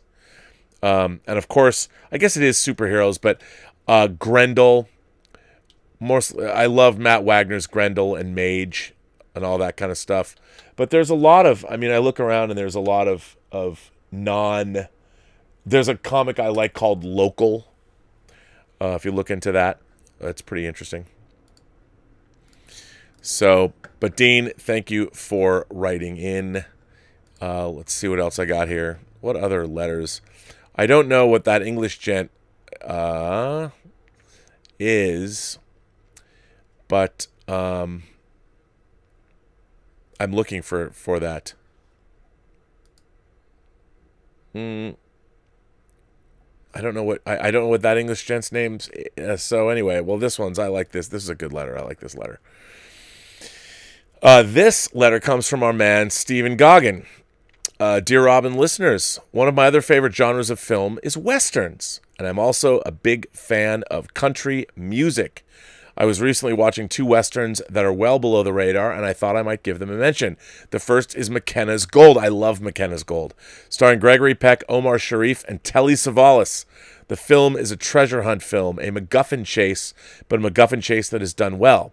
The film felt very much like an Indiana Jones film, and the way they shot the desert scenes was very much like the Dawn of Man sequence in 2001 A Space Odyssey.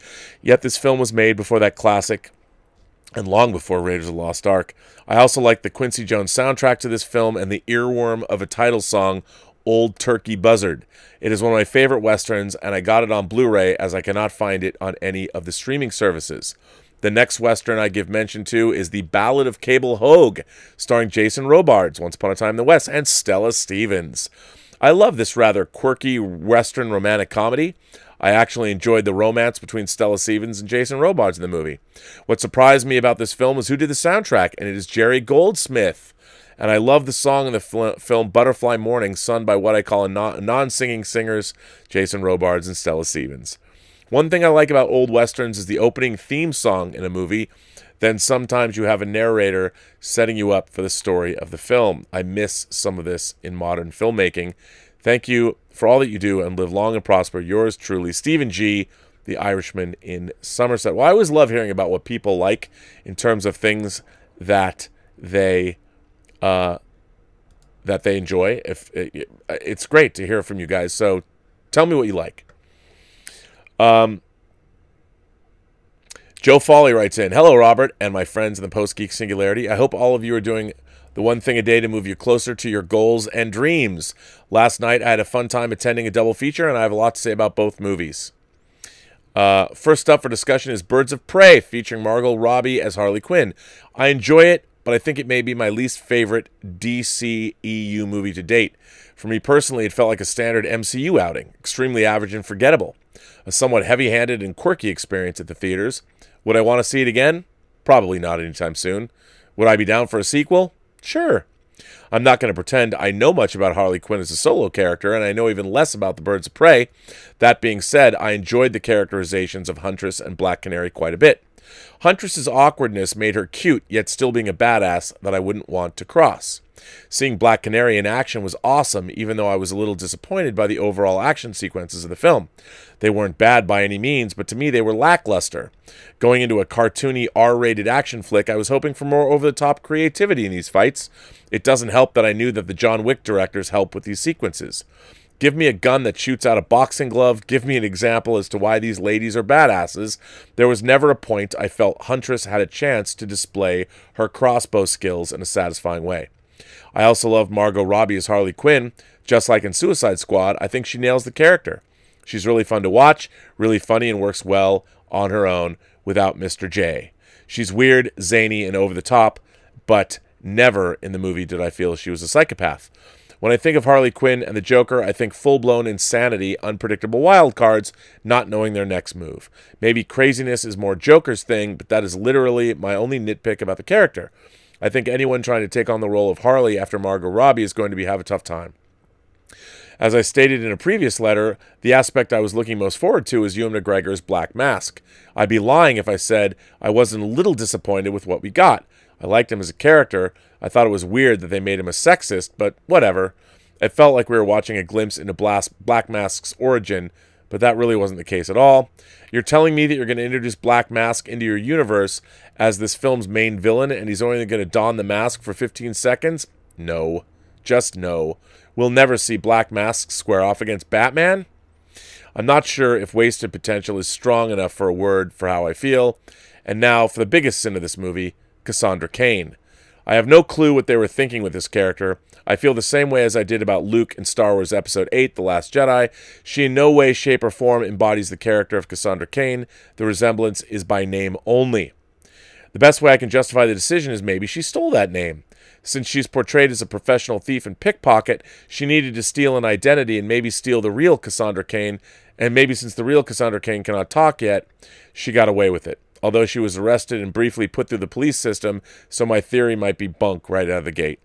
I know this letter sounds like I hated the movie, but I didn't. I'm just puzzled at a number of decisions made. This movie may be objectively better and more coherent than Suicide Squad, but I enjoyed it less. I think DC is taking a smart approach with villain focused films because now when they square off with their hero counterparts, it will feel much more special. This particular outing felt like I was watching a two hour first act that left me without a satisfying catharsis and hoping for more next time. I'm still on board for a sequel and hoping Harley Quinn makes an appearance in James Gunn's Suicide Squad as well.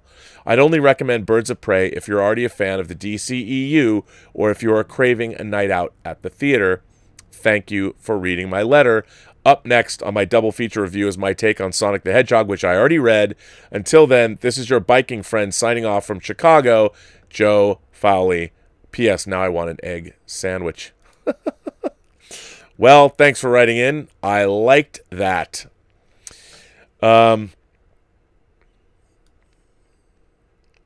uh, let's see. Um, Thomas roughly already said, I'm not sure what to think about Picard. I feel we're in an alternate universe that slipped out of what incredible stories could reflect today. I do too.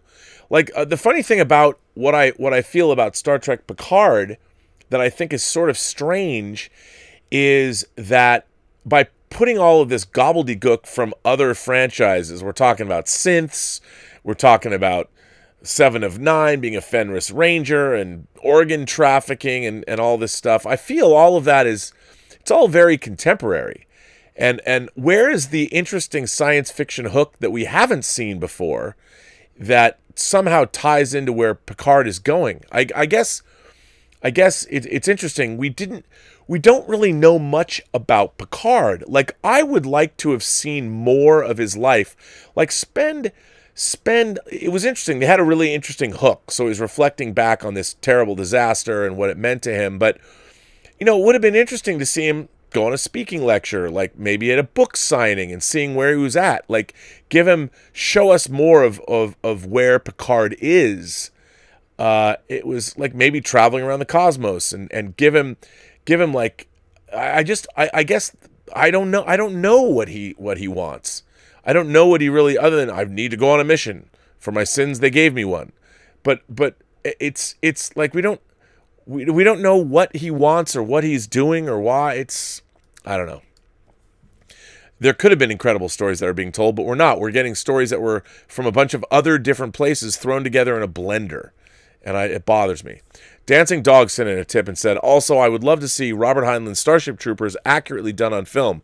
Your thoughts? Well, you know, they did, when they made those DTV sequel, sequels, they got a little better. But yeah, I mean, st- uh, look, I love Paul Verhoeven's Starship Troopers. I know it's not the book. I know there's no power suits. I, I know. I've heard everybody say that. I get it. I read Starship Troopers, and I think you're right. They could probably go and really adapt Starship Troopers and make it more like the book, but I don't think that means that the Starship Troopers that we got was necessarily bad because I really, I'm a fan. I'm a fan. Um, Clinging Mars sent in a super chat and says Maddox recasting is awful. He acts and looks nothing like him. I, I agree. I, you know, Brian Brophy has such a unique face too and I loved his voice. And I, I think by give, giving us a Maddox that was all scruffy bearded, I think they probably did that so we didn't know about, you know, we couldn't tell who he was. But I mean, Brian Brophy, the actor who played Maddox, is the head of the theater arts division here at Caltech. And and here, like literally down the street. I live down the street from Caltech. I mean, I could have walked down there and said, "Bruh." I mean, how many days did they shoot with him? Why not? How cool would that have been? I mean, I can understand why Icab, Ichab, whatever. uh, why do I not know how to pronounce his name today? Uh, why they didn't get Manu to come back? I understand that. I, I uh, that yes, but why not recast Maddox? He was. I mean, right? Recast him. Brian Brophy is such an interesting actor. Um, I I, I agree with you, Clinging Mars. hundred percent. Uh, Hapkido Lock tipped and says, Rob, do such young writers exist in Hollywood? Star Trek was set in a flourishing literary sci fi milieu, but Hari Seldon's are hard to come by. Ooh, nice reference. And while my son might be able to quote lines from Hamlet, he's really only quoting Conscience of the King. Well, remember, I mean, Ron Moore was a young man when he started writing, and he was a fan of Star Trek. I mean, you got to start somewhere. I think there are great young writers out there. Uh, I do. I think you just have to find them. But your point is certainly well taken. Um, I like that. And Hari Seldon, man, let's hope that Foundation series is good, right? Hari Seldon is another one of my one of my literary sci-fi heroes, the creator of Psychohistory. Um, yeah, for the people, that's a Isaac Asimov. If you haven't read the, the original Foundation trilogy, what are you waiting for? Go read it. Why don't they rip that off? Maybe they will for Star Trek Discovery. Maybe they have. Um, but you're right. That's funny. He's only really quoting the conscience of the king. Well, hey, man, you know, uh, Star Trek is how I. That's conscience of the king is where where I learned learned what that was. You know, I didn't understand conscience of the king. I didn't understand Hamlet. Hamlet. Lenore Karidian. You know, I didn't get all that. I learned it from Star Trek. Uh, Jedi and friend to Alita sent in a tip. As a huge Trek fan, I've been disgusted with the murders too. Dahj was advertised to be a main character in the trailers, and then she is brutally murdered halfway through the first episode. I thought this isn't Trek, and it disgusted me. I mean, think about how many people we've seen graphically murdered on this show. I mean, come on, man. Uh, can kids watch that? I agree. Episode five was the last straw. I mean, I'm still going to watch it, but man you know, and, and Michael Chabon coming out with that lame excuse, well, you know, the people had to deal with censorship. No, it's not because they had to deal with censorship. They were more, eh, you know, it wasn't so much censorship on the original Star Trek. It was that, look, people, creators of the day knew you weren't going to swear, you weren't going to show uh, long sex scenes. You could barely show. There's one scene where Kirk's sitting on the edge of a bed pulling his boots on in wink of an eye. And I get that. Or they threw him a few curves in bread and circuses. Understand. I mean, but come on, they knew their limitations. I don't think they would have shown graphic violence if they could have in the first place. Why would you do that? Um, Stubble McShave also says, uh, when the Star Wars EU became Legends, I gave away a lot of my EU books to a friend because I was excited about the new stories. Now I've bought the EU books again and I'm going through them. They're so much better, and now they're my head canon for all the post Jedi Star Wars. Well, I think that's the real problem you know, with I, I think the the the the sequel trilogy, the real problem with the sequel trilogy, and I blame I blame J.J. Abrams, is that he didn't go look. He didn't know. As much as he's a Star Wars fan, he wasn't reading the EU books, but he should have. Or people at his very, very well uh, uh, paid people at Bad Robot, he should have got a bunch of. I would have hired five people to do nothing but read those books. There's already readers reading books and and writing coverage at the studios anyway. I'm sure he's got a reading department. Just hire them to read all the Star Wars EU books. That would have been my first stop. But I know. Uh, Jedi and friend to Alita says, I've tried to give P- Picard the benefit of the doubt and be as lenient as possible, judging it, hoping that his show could get more people into Trek. After each I can't defend Picard. The scene where the scene where Raffi and her son with Raffi and her son was sad too. Picard's not enjoyable. Well, you know what? I mean, what here's here's if I may. Um, and I like what Dave Cullen said. By the way, shout out to Dave Cullen. Uh, I like Dave Cullen's channel a lot, and he, he gave me a nice shout out on his on his channel today, so I appreciate that, Dave. But Dave really leaned into the the whole Raffi and her son thing. What the hell, man? Really? A black woman who is also a drug addict and a deadbeat mother. First of all, in a science fiction show that uses the prism of sci-fi action adventure to reflect back on our world, what is the 24th equivalent of a deadbeat mom. I guess just a deadbeat mom who wasn't there. I mean, and then the, the the son's reaction was also this was 20th century cliche TV. It was cliche in the 70s. And where why is that in Star Trek? Why am I watching this scene? You know, so Raffi went from being a, a dedicated Starfleet officer to becoming a 20th century deadbeat mom. None of it makes sense. I mean, even in, I, I think, didn't I say it yesterday? Even in, I was saying it to Daren, my friend Daren Dochterman, who actually worked on Picard.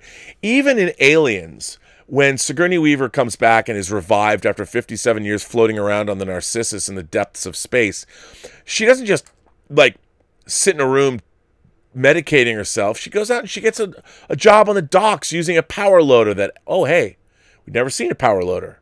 How cool is that? Future tech that plays oh later into the plot. But Raffi is just I don't like Raffi. To me, Raffi is is a is a wasted character. It's a character you're in the 24th century and you want to move into a trailer in Vasquez Rocks. Isn't there something else you could do? Couldn't you become I don't know a merchant marine? You take your entire Starfleet. Uh, uh, why don't you go work for somebody and work help the Romulans anyway? I just hate the fact that they just made Rafi Raffi because oh reasons.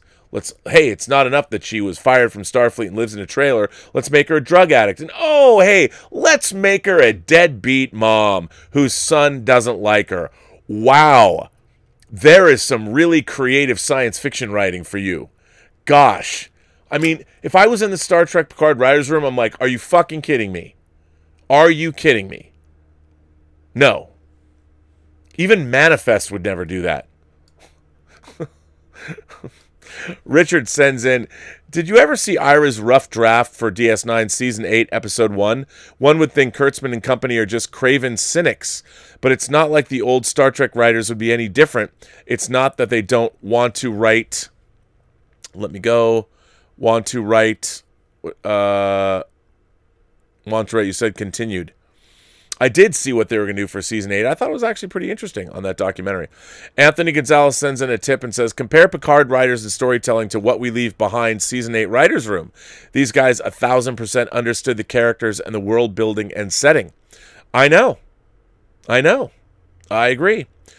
I love what they did. What you're referring to is the DS9 documentary, What We Le- What We Left Behind, has a sequence where they get the writers together to plot out the first episode and they talk about what season eight would have been like for Deep Space Nine. It was pretty good.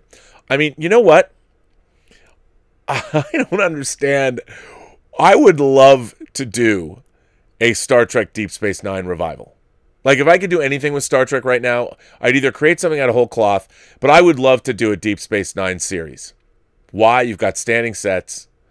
You know, you've got the, the a lot of those actors. I mean, certainly Alexander Siddig has gotten a lot of credits. Nana Visitor is still uh, a pistol. I, I'm very sorry I, I missed. I was asked to go, but I couldn't do it. The episode, the upcoming episode with her for the Inglorious Treksperts podcast. I mean, you can't not watch that documentary and be like, my God, Nana Visitor has certainly aged like fine wine. Put her in charge. you know, watch, put her in charge. Yes, put her in charge. Make a new Star Trek show, make a new Deep Space Nine show. And uh, yeah, why not? And you know what? make it canonical. You want to have that that amount of time have have transpired. You could still do that. I mean, I think it'd be great. Why not? Um, Timbula the Spider Monkey says, "Have you seen the Gamera complete box set Arrow are releasing?" Well, there goes a bunch of Quatloos. Oh yes, I have, and God love Arrow. Of all, you know what? I honestly think of all of the physical media companies that are working, that are coming out today, that are putting stuff out today, Arrow might be my favorite because they really do it upright. Of all, I, I mean, everything they do, their their box sets, uh, their, their choices of, of, of releasing things, and I know they've had overlap with Shout and Well Go and all that, but man, do they do a great job. Man, I mean that that West uh, or Water West, I was gonna say West Side Story, that Waterworld box set with the Ulysses cut. My God, God, I love Arrow. Go buy something from Arrow and tell them I sent you. Go tweet them tweet them and tell them I sent you because man, they're good. But yeah, I'm gonna get that Gamera box set. Uh, Thelma ML sent in a super chat and said, "The Star Trek Picard has a personality problem. Is it trying to be Game of Thrones, Stargate universe, Battlestar Galactica, Star Wars, Lord of the Rings, Blade Runner, Terminator? It's trying to be all those things. I would suspect that we're gonna see a lot more Blade Runner soon uh, in the show. Whether it's gonna be good, I don't know."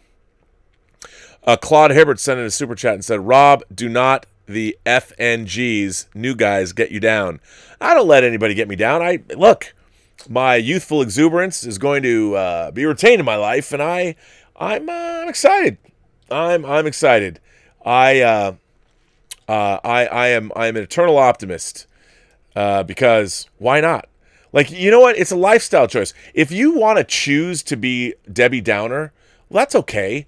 Uh, like just because I rail against Star Trek doesn't mean just doesn't mean I mean come on man. As I sit here in my observatory, look at and this is just a couple of shelves. I got shelves all the way around me, full of great stuff. What's not to love? You know, Star Trek and Star Wars might be letting us down, but hey man, The Expanse season five wrapped. Woohoo!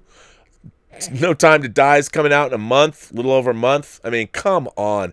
What is not to love? You know, here's I'll tell you something.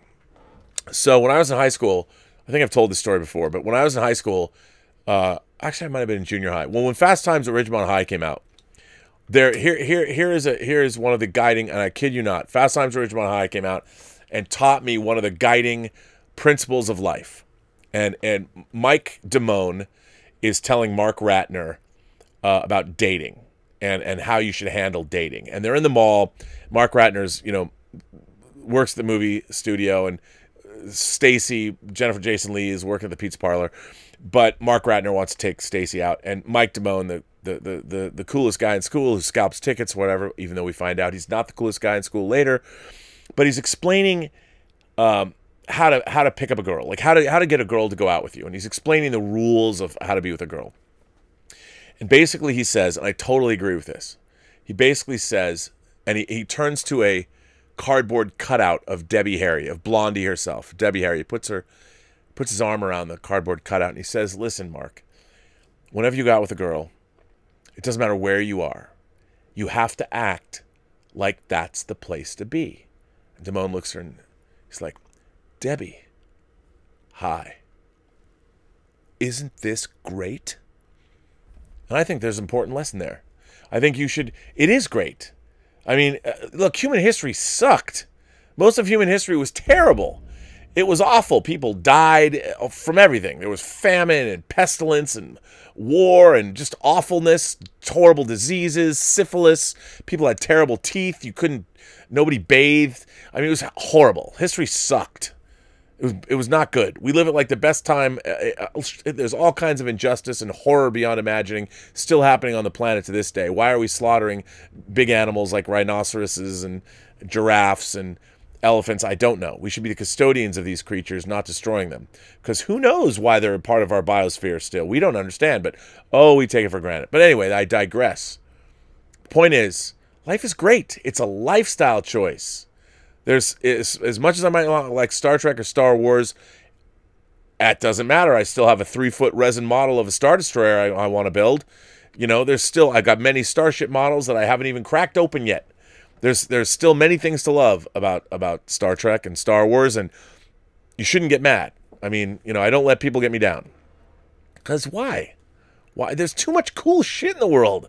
The world is full of cool stuff, and uh, not just stuff. I mean, I don't mean from a materialistic standpoint. I mean, one night I can sit there and I can read.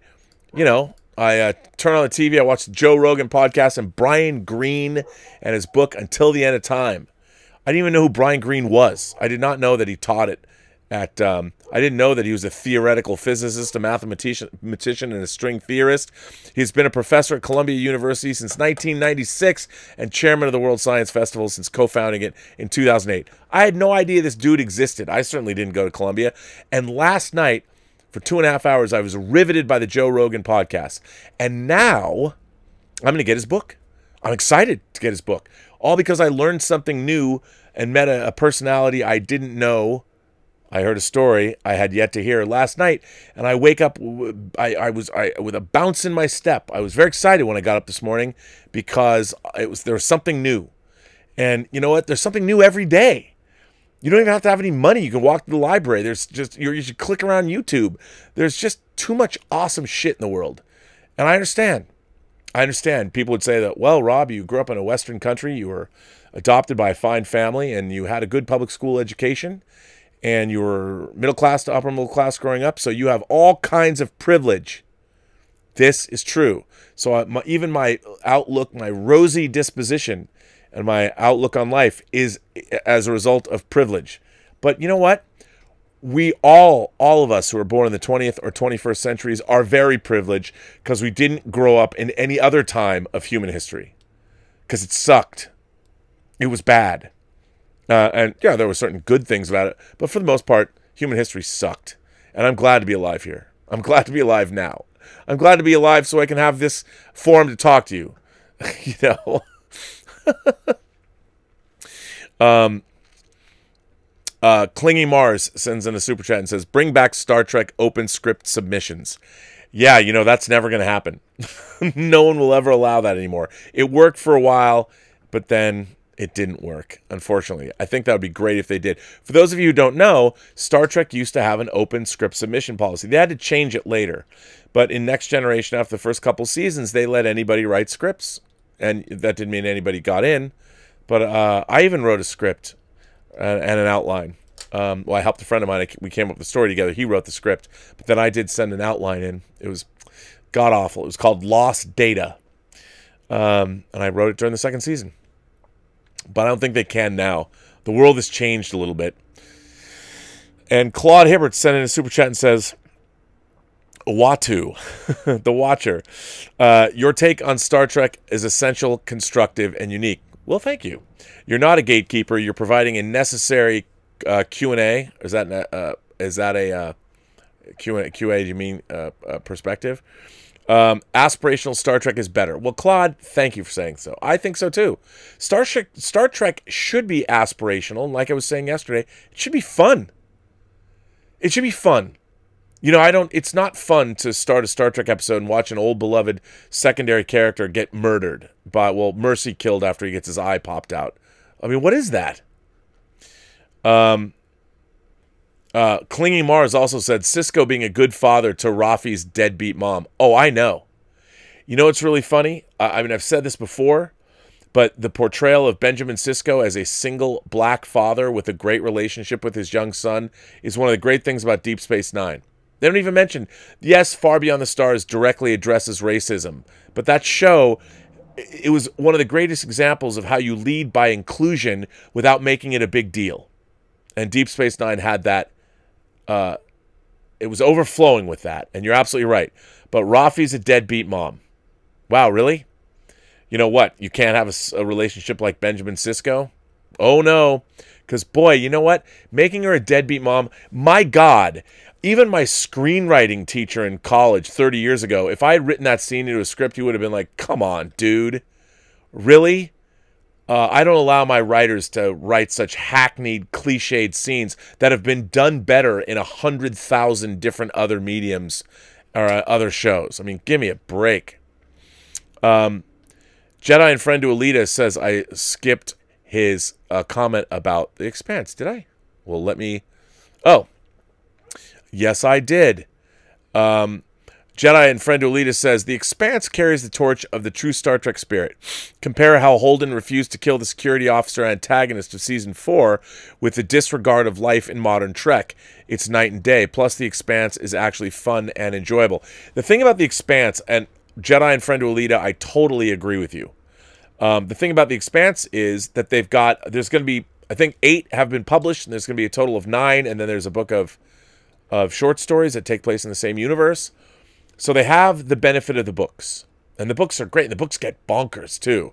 I can't wait to see where it's all going to go. But um, I mean, I we know where it's going to go, but how they're going to do it on the show, they've done a great job. So they do have the books, which I think is great. But you're right. I love, I, I, yeah, Picard is not enjoyable. Picard is not enjoyable because I, I feel like I, I, I, it should be enjoyable. I mean, it should be, you know, it, you know what? There's a movie. I don't know why this just popped into my head, and I understand it, it it's a movie called Hopscotch with Walter Matthau, and Glenda Jackson's in it, and it's a movie about basically an old spy. Walter Matthau plays an old spy. And I don't want to ruin it for you. I'm not going to ruin it for you, but he basically mm, he goes on sort of a globe trotting adventure, and all of these other, his former spy compatriots, want to know what he's up to. And if I had made a Picard series, just off the top of my head, right now, I would have made it more like hopscotch. That's what I would have done.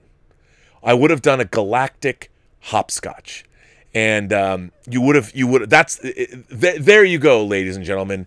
That's what that's that's just off the top of my head right now. You gentle beings you members of the post geek singularity community whatever that means hopscotch. But but imagine hopscotch as a Star Trek series with Jean-Luc Picard in the Walter Matthau role. And you could revisit all these people. Um that's kind of what I that's what I it's funny I I don't know why I thought that but I love hopscotch, and that's what I would do. If you haven't seen it, I mean, I'm not saying it's the best movie in the world, but it's pretty damn delightful. So I would definitely go check that out. Stubble McShave sends in a tip and says, I finally figured it out. J.J. Abrams, Kurtzman, and a few others from the production of the new Star Trek are watching all of your shows and are the reason for your dislikes. oh no, I think I think there's people there's people that just dislike me. and and I understand why. Um, uh, you know, I get it. There there have been things I still need to atone for. I haven't been all I haven't always been the best I can be. I've I've I owe people money probably, and I have things I haven't done as well as I probably could have. But you know what? There are people that dislike my sunny disposition too, and that's okay. You know, I, I, I they should start. Uh, I know that there are people that, that hate the fact I have this YouTube channel and I, I, I welcome anyone to do it. You know, the great thing about a YouTube channel is anybody can start one, and I'm, I'm absolutely, I'm in full agreement that uh, if you want to start your own YouTube channel, please submit it, start one, submit it to me. I will promote it on this channel. I mean, I, I like my fellow YouTubers. I watch them, you know, and, and I think it's a great community. It's, it's really like being at a science fiction convention.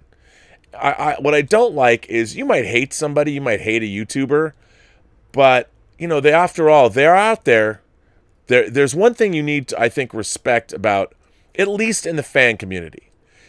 Even if if you think you certain YouTubers might be toxic and indeed they are there are toxic YouTubers, still, you know, for the most part, uh, I listen to most of the people in our community um, especially that are talking about some of the same things, a lot of them are worth listening to. You know, and and I, I I find myself I like being a part of this community. I've met a lot of great YouTubers. You know, I've I've certainly people have been ask asking me to be on their shows, and I'll go on their shows, and I, I for the most part have had a very positive experience meeting people, and it's been a thrill. Like, you know, Dave Cullen. I've been watching Dave Cullen's videos for years, or I've been watching Midnight's Edge videos for a long time, and Gary Buechler at Nerdrotic. I'd I'd watch him for a long time, and now that I I like know these people, and interact with them, and my interactions with all of them Jeremy from Geeks and Gamers. My interactions with all of them have been, for the most part, very, very positive. And I feel like I've really been um, mecha random. I've been welcomed with open arms in a lot of places. And I think people understand where I'm coming from. Like, uh, my baseline with everybody is that we're fans. First and foremost, we're fans. And, and we live in a time where, where it's never been a better time uh, you know, like Nanclus said in Star Trek Six, "There's never been a better time." Um, I feel that way. There's never been a better time to be a fan. You know, we've got a global communications network that we can use whenever we want, and and we can share our enthusiasms. We can share. Look, fans have always talked about what they loved and what they hated. Uh, I've been going to science fiction conventions most of my life, and and what are we if we're not talking about what we love and hate? And uh, now we have uh, electronic forums that are global to do it. But at the end of the day, ultimately, you've got to smile about it all. And and when it comes to fan circles, uh, I think it's it's it's more important to engage with people, and it's more important to, to to concentrate on what we love, and that's we love all of it. Science fiction. We're all imagination connoisseurs. We all love science fiction, fantasy, horror, comics, video games, action figures, model kits, flying model rockets, radio controlled planes. You know, one day, one day I'm going to build myself a radio controlled jet. I've always wanted to get into radio controlled planes. I never had. My boss at Warner Brothers, Bill Young, was telling me about how once at I don't, before I got there, so this had to have been in the late 80s or something, that a, lot of the studio bosses, the studio execs that were at his level, they all got into like radio controlled planes and they were going to fly him out out out like I don't know at Point Dume or something. I don't know where, but I always thought that was cool. I I would love to have. I would you know now there's you talk about uh, Joe Manganiello plays D and D. He's got his D and D. I have a lot of Hollywood writer friends and producers that play D and D, but I really wanted to live during a time when there was a, a cadre of Hollywood insiders that were radio controlled plane aficionados. Of course, that would have been expensive and it would have been frustrating to be young it'd be frustrating now to get into radio controlled planes, but you know what I'm saying. Anyway, um, uh, oh, Richard said, sorry, phone went off. On a lighter note, I saw your reply to Rick Berman on Nerdrotic. Was he trolling or just being wistful? Oh, yes. Um, Rick Berman, who doesn't tweet very often, did tweet, How is everyone liking Picard? And I tweeted, I was one of the first people, it was like the first 10 people that tweeted back to him. I tweeted back to him. I said, I hope you're getting residuals because they've built an entire series around everything that you've produced. And I, I believe that. Some people, somebody came back and said, oh, he's, he's consulting. Well, I haven't heard that. Maybe he is. It makes sense to me that he'd be consulting. Maybe Patrick Stewart insisted upon that, but I don't know. I don't know if he is or not. But there was a lot of very, very telling, very telling tweets. Um, yeah, you know, it's funny. I don't think Rick Berman would have ever allowed the scripts that they're making into Picard. That he would never have let them by. he just wouldn't have. but you know, when you what, what's really interesting is is like let's just take this week's let's just take this week's episode of Star Trek Picard. Okay, you've got Bruce Maddox that was introduced in season two by Melinda Snodgrass. By the way, here's another thing that I think is great. So, according to the WGA, if you create a character, if you're a writer that creates a character and that character is used again and appears on camera, you're you as a writer are owed a character payment. It's a residual. And I Melinda Snodgrass, who I got to know, uh, and also by the way, you can't you can't not get a you can't not have a crush on Melinda Snodgrass when you meet her because she she's such she's such a delightful woman and she's smart and she's so funny and she's cute and and uh, she wrote Measure of Man. And I mean, I got to go to a movie theater and see the extended version of Measure of Man when they had the Fathom events with her. Like, how great was that? You know, and I was instrumental in getting that extended version finished in HD. It was actually my idea when I was in Ken Ross's office in New York City. And they did it. And the Okudas found out there would only have to be three effect shots done. They were like, not hard to do. And it was so great. Well, she creates Bruce Maddox. And does anybody contact her? No. Does anybody tell her, yeah, you know that character that we made that actually was brought up again in Data's Day uh, and who's who's had books written about him, David Mack's trilogy? We're just going to kill that guy. We're going to kill your character. But anyway, so if you think about it, so Rick Berman produces Star Trek, Next Generation, Deep Space Nine, Voyager. You got Bruce Maddox. You've got Seven of Nine. You've got Ikeb. Ichib. Ichib. Why can't I say his name? Um, from multiple episodes of Voyager. You've got Picard himself. You know, so so one episode of Picard is sequels to how many episodes of Rick Berman's Star Trek? And the irony of it is Rick Berman, when you wrote when you when you wrote scripts for Next Gen, if you were going to write a, a, a spec script or if they were hiring the last thing you do is write sequel episodes to things that happen. You'd write these standalone episodes, and and yet Star Trek Picard is the the whole show is based on concepts from Rick Berman's Star Trek. He should get a credit on the show. he really should. He should get a created by credit or something, executive producer credit, because all of these concepts in the show have far more to do with the Star Trek that he created than that they have not created much out of whole cloth. Chateau Picard, which is now a hologram on a ship on uh, I mean on Rios's ship. That's right. Uh, it's just uh, crazy, crazy. And and as far as I know, he's not given a credit on Star Trek Picard, which is silly to me. But anyway, what are you going to say? What are you going to do? Uh, Thelma ML sent in a super chat. Why? Thank you, Thelma. Do you believe these new Star Trek series are bringing up, bringing a new type of fan? I've recently visited several Picard pages, and I was surprised with the meanness of some fans. Oh, Thelma, Thelma, Thelma, Thelma, you have just hit the nail on the head.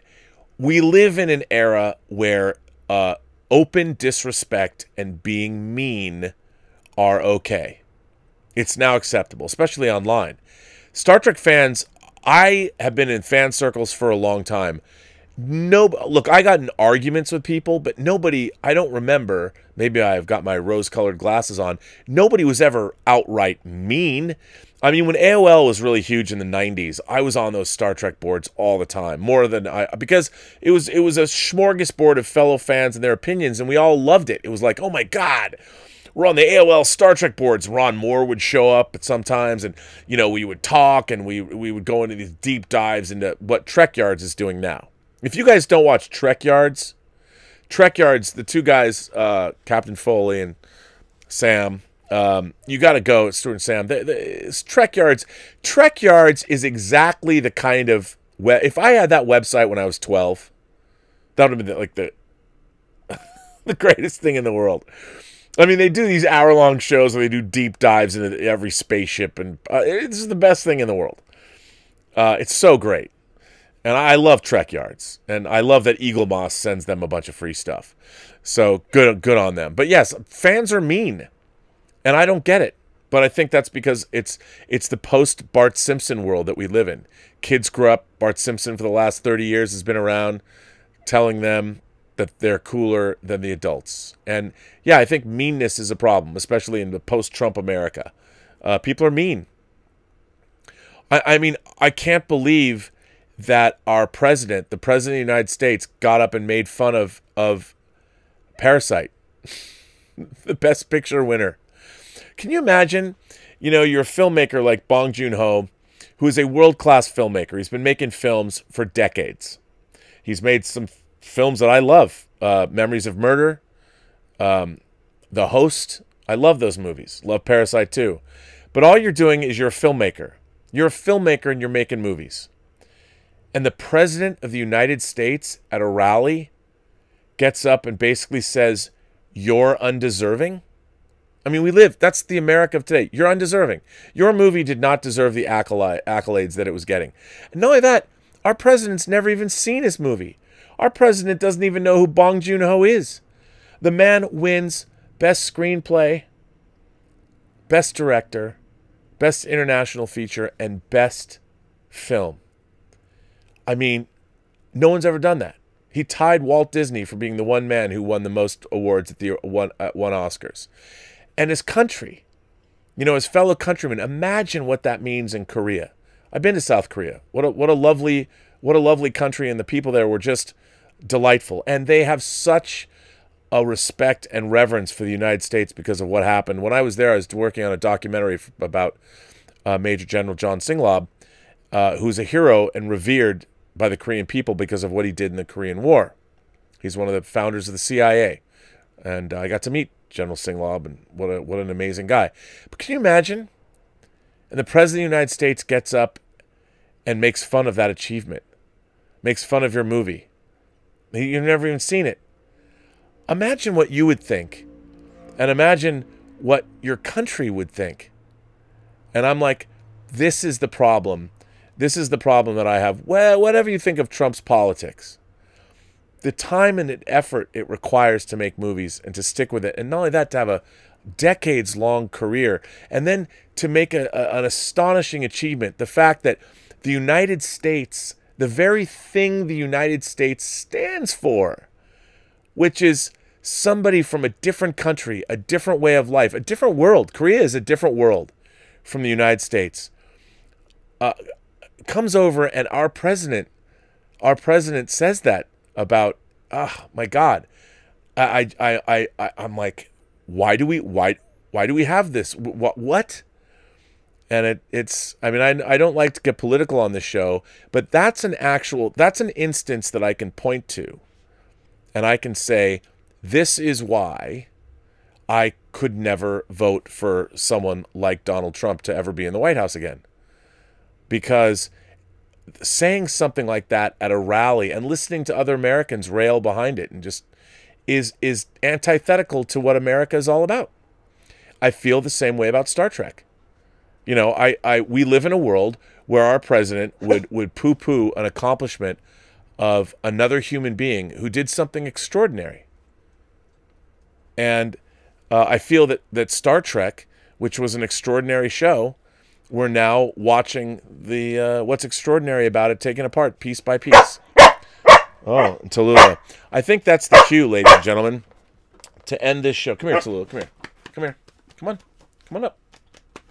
Okay, since you're gonna bark, here we're gonna you stay. Oh no, come on, come on. Uh, so, so, ladies and gentlemen, apparently Tallulah has a story. Come here. Come here. Come on. Come on. Come on. Come on. Come on up. You want a cookie? You want to come get it? If you're going to bark, come on. Okay, here we go. So Tallulah is here with me, and apparently she has a story to tell, and so does Gilbert. Uh, see? Do you want to come here? Well, Gilbert's more reliable. Uh, every person you meet has a story to tell you have yet to hear. All you have to do is is listen. That's it. And um, yeah, I want to thank. Uh, well, Gilbert, you want to stay? You, buddy. You want to thank our moderators? I want to thank our moderators, the great, of course, Mayor Mike Bodden of Riverdale, Iowa. I want to thank, of course, Detective Jim Boyers. Uh, no, no, you can't. Gilbert loves paper towels. You can't eat that paper towel. No, Gilly. Uh, I want to thank Jim Boyers. I want to thank Greg Smith, who's building. Look at this. Look at this. I got them both. I want to thank Greg Smith for being a great moderator, and of course, Jordy Lyons and Lewis Yu for making this channel what it is. But most of all, I want to thank you guys you imagination connoisseurs, guys, girls, gentle beings, however you identify. I want to thank you for being here and members of this, the Post Geek Singularity community. I want to thank you for sending in letters. If you want to send more in, please do so at the burnettwork.net website. And um, Tallulah, Tallulah, Tallulah's going to start pressing buttons, aren't you? You crazy dog. Um, anyway. I'm going to bring this Robservations episode 343 to an end. And uh, as you all know, I will tell you all that I'll be back here tomorrow. And to, as always, have a better day.